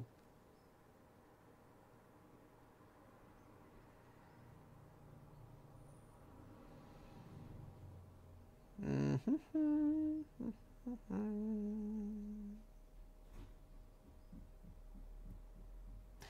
Are the fire still best for endurance? Yes, they are pretty good. Moldy Apple is saying.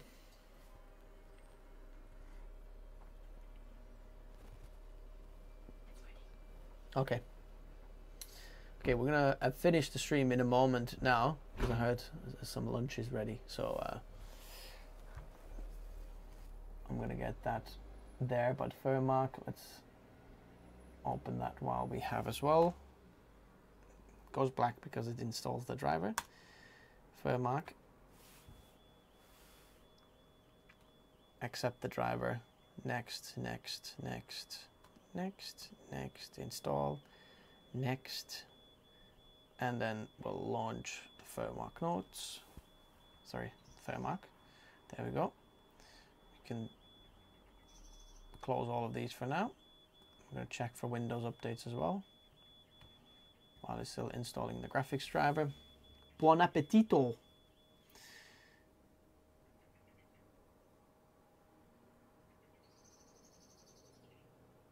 Is it better performance compared to the game ready drivers for the studio drivers? Um, NVIDIA officially likes to say no, but sometimes stability gives you performance, if you know what I mean. But it, it shouldn't really. Alrighty, and close. So the GPU driver is installed, Windows is up to date now. Let's go back to hardware info 64. Okay one last test of the hardware. Let's see what's going on.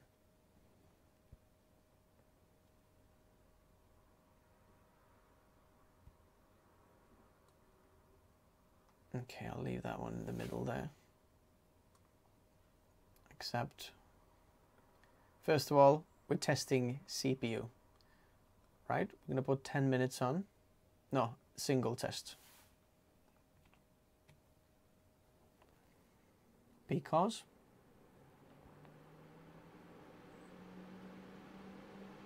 as you can see it's not thermal throttling on a first load. Let's see if that is true.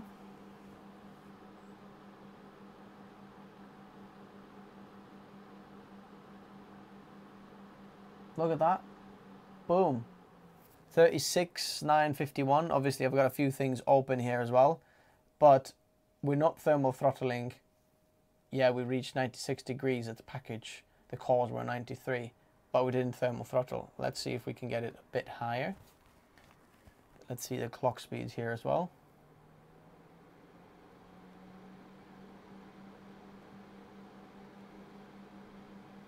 Five point one, five point something like that. It could have been because of the drivers and the management engine and all of these things as well that now we're reading a bit better things and it wasn't even thermal throttling previously as well. As you can see, air cooling completely fine, not thermal throttling, 253 watts pulling from the socket and the side panel actually helps because it helps to move the the air like through the case and actually there rather than just blow it out. So sometimes it's not the nicest thing. Uh, so there we go. CPU seems to be fine. Let's try it one more time. 175 watts. Okay, now we only a split second we did thermal throttle because I guess the motherboard is still trying to push it to 5.5 gigahertz on all cores, but then realize oh pants can't actually. And then 5.1, something like that. About 36, 37,000 points there, which is completely fine. And then, like, in real world, you're never going to see that um, temperatures when you're using this case. Get the glass case there as well, because then it's going to be even better airflow there. But now let's check the GPU as well.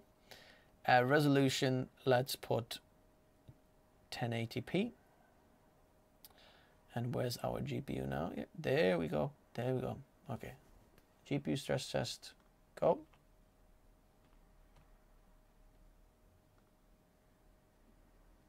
Interesting. Perhaps we need to restart. Let's have a look.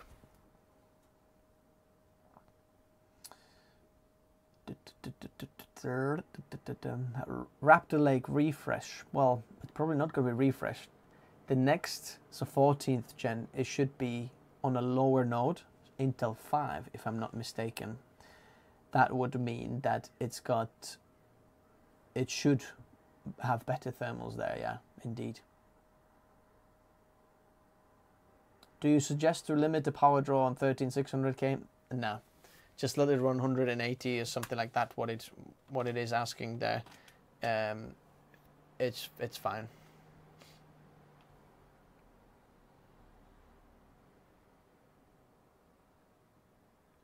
So let's try back the FurMark GPU test now and hardware info.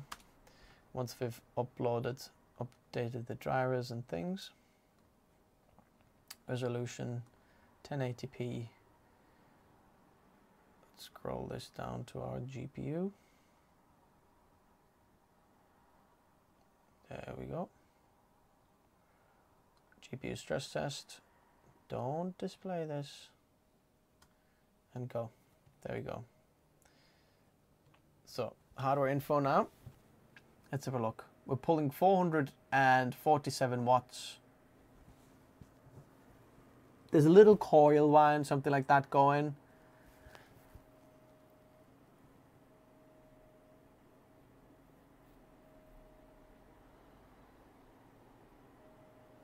but it looks like it's fine.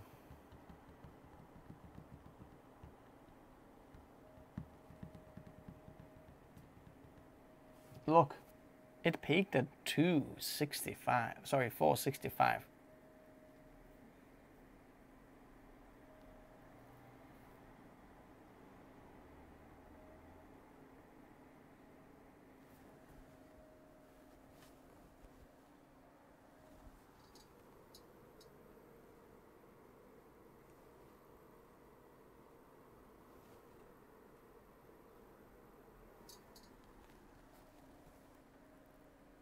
Just checking like where is it? It's just naturally pushing out some of the air from there as well. We can feel it put in there as well. I mean, GPU is fine. 450 watts, look at that. We're 67 degrees, slowly peaking. I'm not going to reach 77 degrees and 26.5 degrees here in this room. It's completely fine.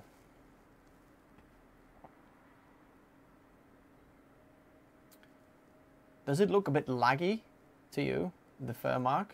Even though it says we're running like 650 or something frames per second. I mean, this is completely fine here. Alrighty. And uh, that's how you uh, build a PC. As you can see, PC's all ready, it's working, thermals are fine, Windows is installed, cables are configured, everything's everything's just it's brilliant. It's working fine. Um, two seconds. I just want to finish it with a nice